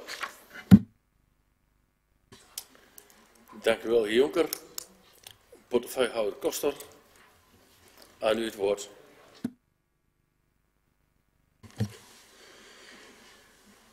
Ja, dank u wel, uh, voorzitter. Dank u wel ook voor de inbreng. Um, even kijken, de fractie van GBT die gaf aan, um, die wilde hinten richting warmtenet. Ja, inderdaad, uh, daar was vanmorgen een persbrief van. Dus ja, de realiteit heeft ons ingehaald in deze. Um, uh, voorsorteren op uitbreiding, zegt u. Um, ja, uh, op dit moment is dat hier niet aan de orde. Maar u mag erop uh, op vertrouwen dat dit college de vaart erin wil zetten. En in ieder geval ook qua woningbouw. we hebben nu een aantal inbreidingslocaties, waarvan dus nu de Smithoek en Mozaïek. We hebben ook gezegd in ons coalitieprogramma, inbreiding gaat voor uitbreiding. Nou, dan zie je hier het voorbeeld. En juist vanwege die snelheid die we het in willen houden en erin willen brengen, dat is een van de redenen, een van de argumenten, meneer Jonker, die u niet noemde. Uh, u had het over planning, inderdaad. Dat heeft wel degelijk te maken met snelheid, maar wij willen de snelheid erin uh, inhouden. Daarnaast vinden we beide locaties zodanig uh, beeldbepalend in, in de kernen, of het nou Den Ham is of hier Frieseveen, dat we zeggen, daar willen we toch wat meer sturing op hebben. En wij denken, als we dat zelf doen, dat we dat sneller, vlotter makkelijker kunnen doen. Dan vraagt de heer Kerkdijk zich af van, uh, ja die kosten, eh, dat uh, is nogal behoorlijk, hè? hebben jullie een exploitatieopzet? Uh, nee, we hebben nog geen exploitatieopzet. Dat is waarom wij een voorbereidingskrediet vragen. om een, eh, een, ehm, een eh, exploitatieplan eh, eh, op te zetten, een verkavelingsplan, ehm, even kijken, ontwerpbestemmingsplan, stedenbouwkundige opzet enzovoort, om dat allemaal bij elkaar te doen. En dan wordt inzichtelijk eh, wat we dan feitelijk, hè, ik bedoel, al- al- als we zeggen, we willen kwaliteit, er moet meer groen in die wijk komen, hebben we minder grond om te verkopen. Dus in die zin zit er op dit moment nog geen eh, exploitatieopzet bij. Willen we meer kavels gaan verkopen en minder groen in de wijk, ja, dan eh, heeft dat allemaal effecten voor de kosten, CQ de opbrengsten. Meneer Kerk. Dank u, voorzitter. Ja, het roept natuurlijk wel de vraag op. Je investeert 350.000 euro. Als je dat in het bedrijfsleven doet, dat doe je niet voor niks. Dan heb je daar een beeld bij waarom je dat doet. En eh, die, die inschatting, die zal er wel degelijk onder liggen. En nogmaals, een, een oproep om in vergelijkbare situaties, maar ook in deze situatie, dat dan toch eerst aan de raad voor te leggen. Maar eh, vraagt u nu aan mij van, eh, vraagt u nu aan mij wat de samenstelling is van beide bedragen, waaruit deze bedragen bestaan? Of, want dit is toch vrij normaal dat op het moment dat je met een plan komt, dat je voorbereidingskrediet vraagt om te komen tot een stedenbouwkundige opzet, een verkavelingsplan enzovoort. En vervolgens weer bij uw raad komen. Meneer Kerk. Ja, voorzitter. Ik, denk, ik wil het wel even wat verduidelijken. Kijk, u weet wat in beide plannen aan vierkante meters beschikbaar is. U weet de gemiddelde verkoopprijs. Dan kunt u ook zeggen van nou, we investeren een x-bedrag en we schatten in dat er ook eh, qua infrastructuur et cetera nog het nodige moet gebeuren. En we denken dat dat een, eh, op dit moment met de inzichten van nu een x-bedrag opbrengt. Dan weten wij waarom wij als raad het krediet beschikbaar stellen. Nu geven we u een blanco cheque mee. En in deze kommervolle tijden waar de gemeente Twente zich in bevindt, krijgen we daar geen goed gevoel bij. Meneer Koster. Eh, ja, gevoelens, dat is altijd moeilijk, hè? en met name gevoelens om die weg te nemen. Eh, het is wel zo, de stedenbouwkundige opzet, hoe u het ook bent of verkeerd, en dat weet u net zo goed als ik, eh, is alles bepalend voor eh, wat uiteindelijk de opbrengsten zullen zijn en wat de kosten zullen zijn van het desbetreffende plan. Dus ja, ik kan het u niet duidelijker maken. Zodra wij de zaak, die voorbereiding rond hebben, de planvorming, de kosten, en eh, als ik kijk hier eh, waar die voorbereidingskosten uit bestaan, hè, dat is sloopkosten, planvorming, stedenbouwkundig onderzoek, bestemmingsplan, boorderonderzoek, promotie, projectleiding en nog een portie onvoorzien. En dan kom je op deze bedragen uit. En dan zegt u eh, misschien van die 260.000 eh, ten opzichte van die 115 eh, naar de Smithoek. Nou, dat heeft alles te maken met de sloopkosten die we, waar we tegenaan zijn gelopen hier bij de school. Eh, waar we onvoorzien met eh, asbest eh, te maken kregen. Kortom, het is een reële opzet. En zodra eh, wij in die voorbereiding, kom ik bij u terug. Ik kan het mooi maken. Ja, dus een cheque. Meneer Koster. Ehm, nou, volgens mij heb ik eh, eh, alle antwoorden wel gegeven. Meneer Veldmeijer. Aan u het woord. Dank u wel, eh, voorzitter. Ja, eh, toch even ingaand op eh, wat eh, mijn voorganger van het CDA zei. Ik, ik denk dat we dat als gemeenteraad wel kunnen eisen. Eh, dat durf ik rustig uit te van de wethouder. Dat hij toch met een onderbouwing komt. En toch met een, een exploitatieoverzicht en de verwachte inkomsten en, en uitgaven. Want we hebben het al genoeg meegemaakt dat hier geld naar bepaalde projecten is gegaan waar uiteindelijk nog veel meer geld bij moest. Dus eh, ik denk dat dat een heel eh, redelijk, eh, redelijke vraag is van het, van het CDA. En wij steunen die van harte. Dus aan u de vraag of u toch eh, een, een, een soort van toezegging kunt doen dat u eh, ja, dit soort eh, eh, stukken nog kunt aanleveren. Meneer Koster. Ja, voorzitter, ik denk dat ik in mijn vorige beantwoording voldoende duidelijk ben geweest. Het betreft hier een voorbereidingskrediet om te komen tot een totaalbeeld. En er zijn een aantal uitgangspunten die daarin leidend zijn. En vervolgens kan ik bij u terugkomen om die vraag te beantwoorden. Oké, met, met, met uw goedvinden, meneer Veldmeijer. De vraag is, kunt u met een voorbereiding, in de voorbereiding nog komen stukken, zegt u eigenlijk, dat kan ik niet. Nee, maar dat is de vraag van de heer Veldmeijer voor de raad. Dat was uw vraag, toch?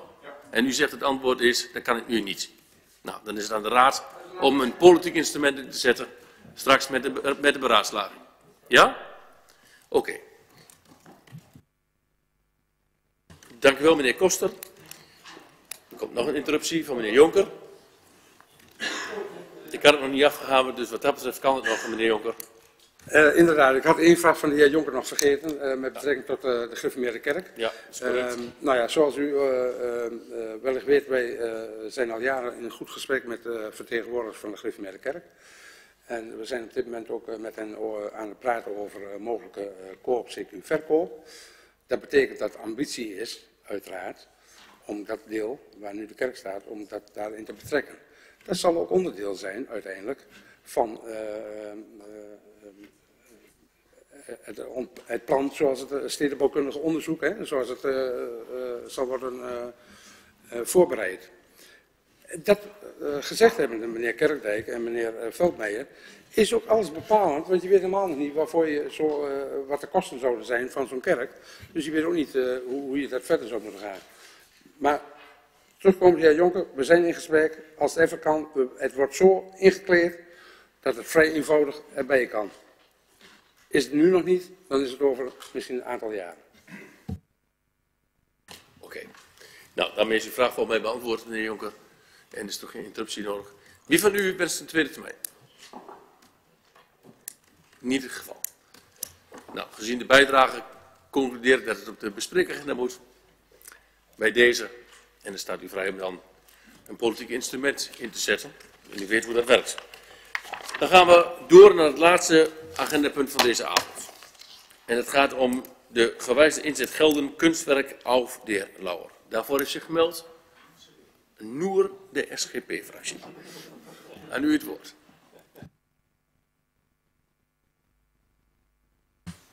Dank u wel, eh, voorzitter. Bij hoge uitzondering is er geld over. En dat geld brandt blijkbaar in de zak want het moet worden uitgegeven of besteed worden. Op technische vragen vooraf van de SGP of het college ook nog heeft overwogen om de gelden anders in te zetten, kregen we als antwoord nee, dit heeft het college niet, overwegen, of niet overwogen. Voorzitter, de SGP, SGP vindt dit wel erg gemakkelijk. Waarom heeft u dat niet overwogen? Naar de mening van de SGP-fractie behoren deze gelden naar de algemene risicoreserve te gaan. U als bewaarder van onze schatkist moet toch dezelfde mening zijn toegedaan. Graag uw reactie. De kosten voor het nieuwe verzetsmonument bedroegen 56.000 euro. De dekking was destijds 42.500 euro uit de algemene risicoreserve en 7.500 uit de reserve cultuurnota. En overig nog 6.000 is verwerkt in de jaarrekening. Voorzitter, het is mooi dat het geld boven water komt. Het is meestal anders, maar laten we alstublieft zuinig met onze centen omgaan en blijven werken aan het degelijk financieel beleid. Graag uw reactie, heer voorzitter. En die krijgt u. Meneer Koster, aan u het woord. Voorzitter, dank u wel. Het is eigenlijk vrij eenvoudig. Cultuurplatform Twenterand had een subsidie tot en met uh, 2018. In de kennismakingsgesprekken die ik vorig jaar uh, met het cultuurplatform heb gehad, uh, is mij gebleken dat daar gewoon hele goede initiatieven door zijn ondersteund. Die subsidie liep tot en met 2018. Um, ehm, per abuis is vorig jaar bij de begrotingsbehandeling geen extra post opgenomen om die voortzetting van die activiteiten, om dat te waarborgen. Dat was pakweg 15.000, dacht ik, per jaar. 20.000. 20.000 per jaar, hoor ik fluisteren. Um, het cultuurplatform gaf mij aan dat ze dat spijtig vonden. En ik kon niet anders dan dat met hen eens zijn. Um, vervolgens heb ik gekeken van, uh, zijn er nog mogelijkheden? Hebben we nog ergens geld? Toen bleek dat in de reservecultuur, uh, dat er nog 7.500 euro in zat.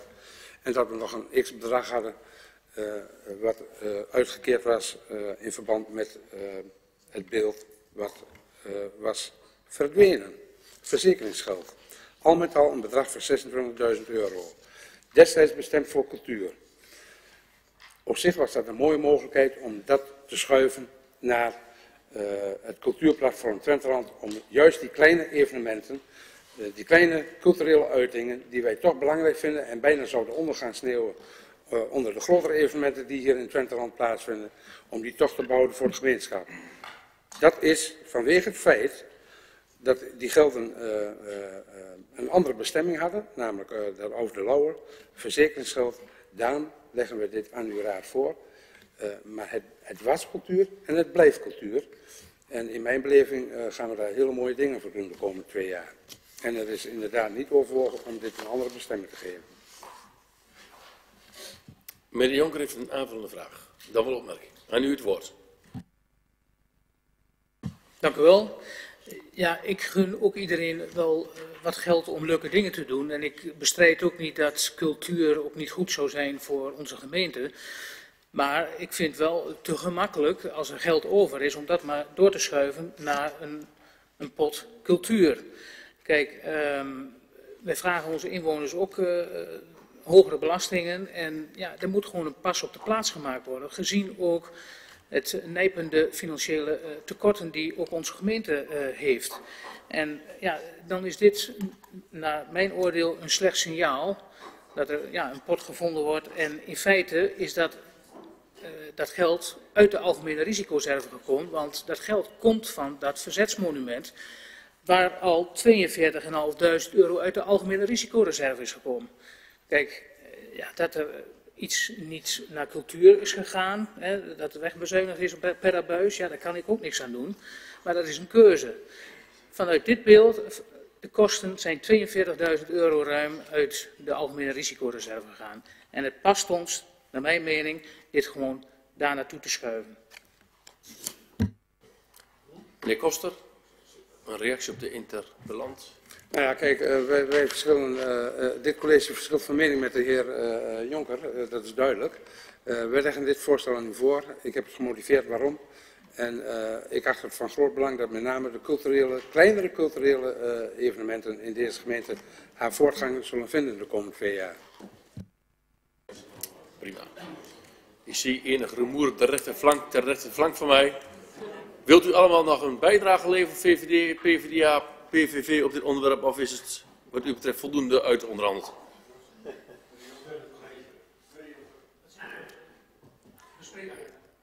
Geen tweede termijn. Nee, ik vroeg aan de alle partijen naast u of ze met u nog in debat wilden, want het is plezierig voor de kijker dat u dat voor de microfoon doet en niet aan de tafel. Maar geen tweede termijn, bespreekagenda. Ik kijk nog even naar de andere kant, is er nog behoefte om een reactie te geven, is niet het geval. Dan sluit ik hiermee de vergadering voor vanavond af. Uh, dank voor uw bijdrage, dank voor uw discipline. We zijn ruim binnen de vergadertijd klaar. Dank u wel. Fijne avond en tot een volgende keer.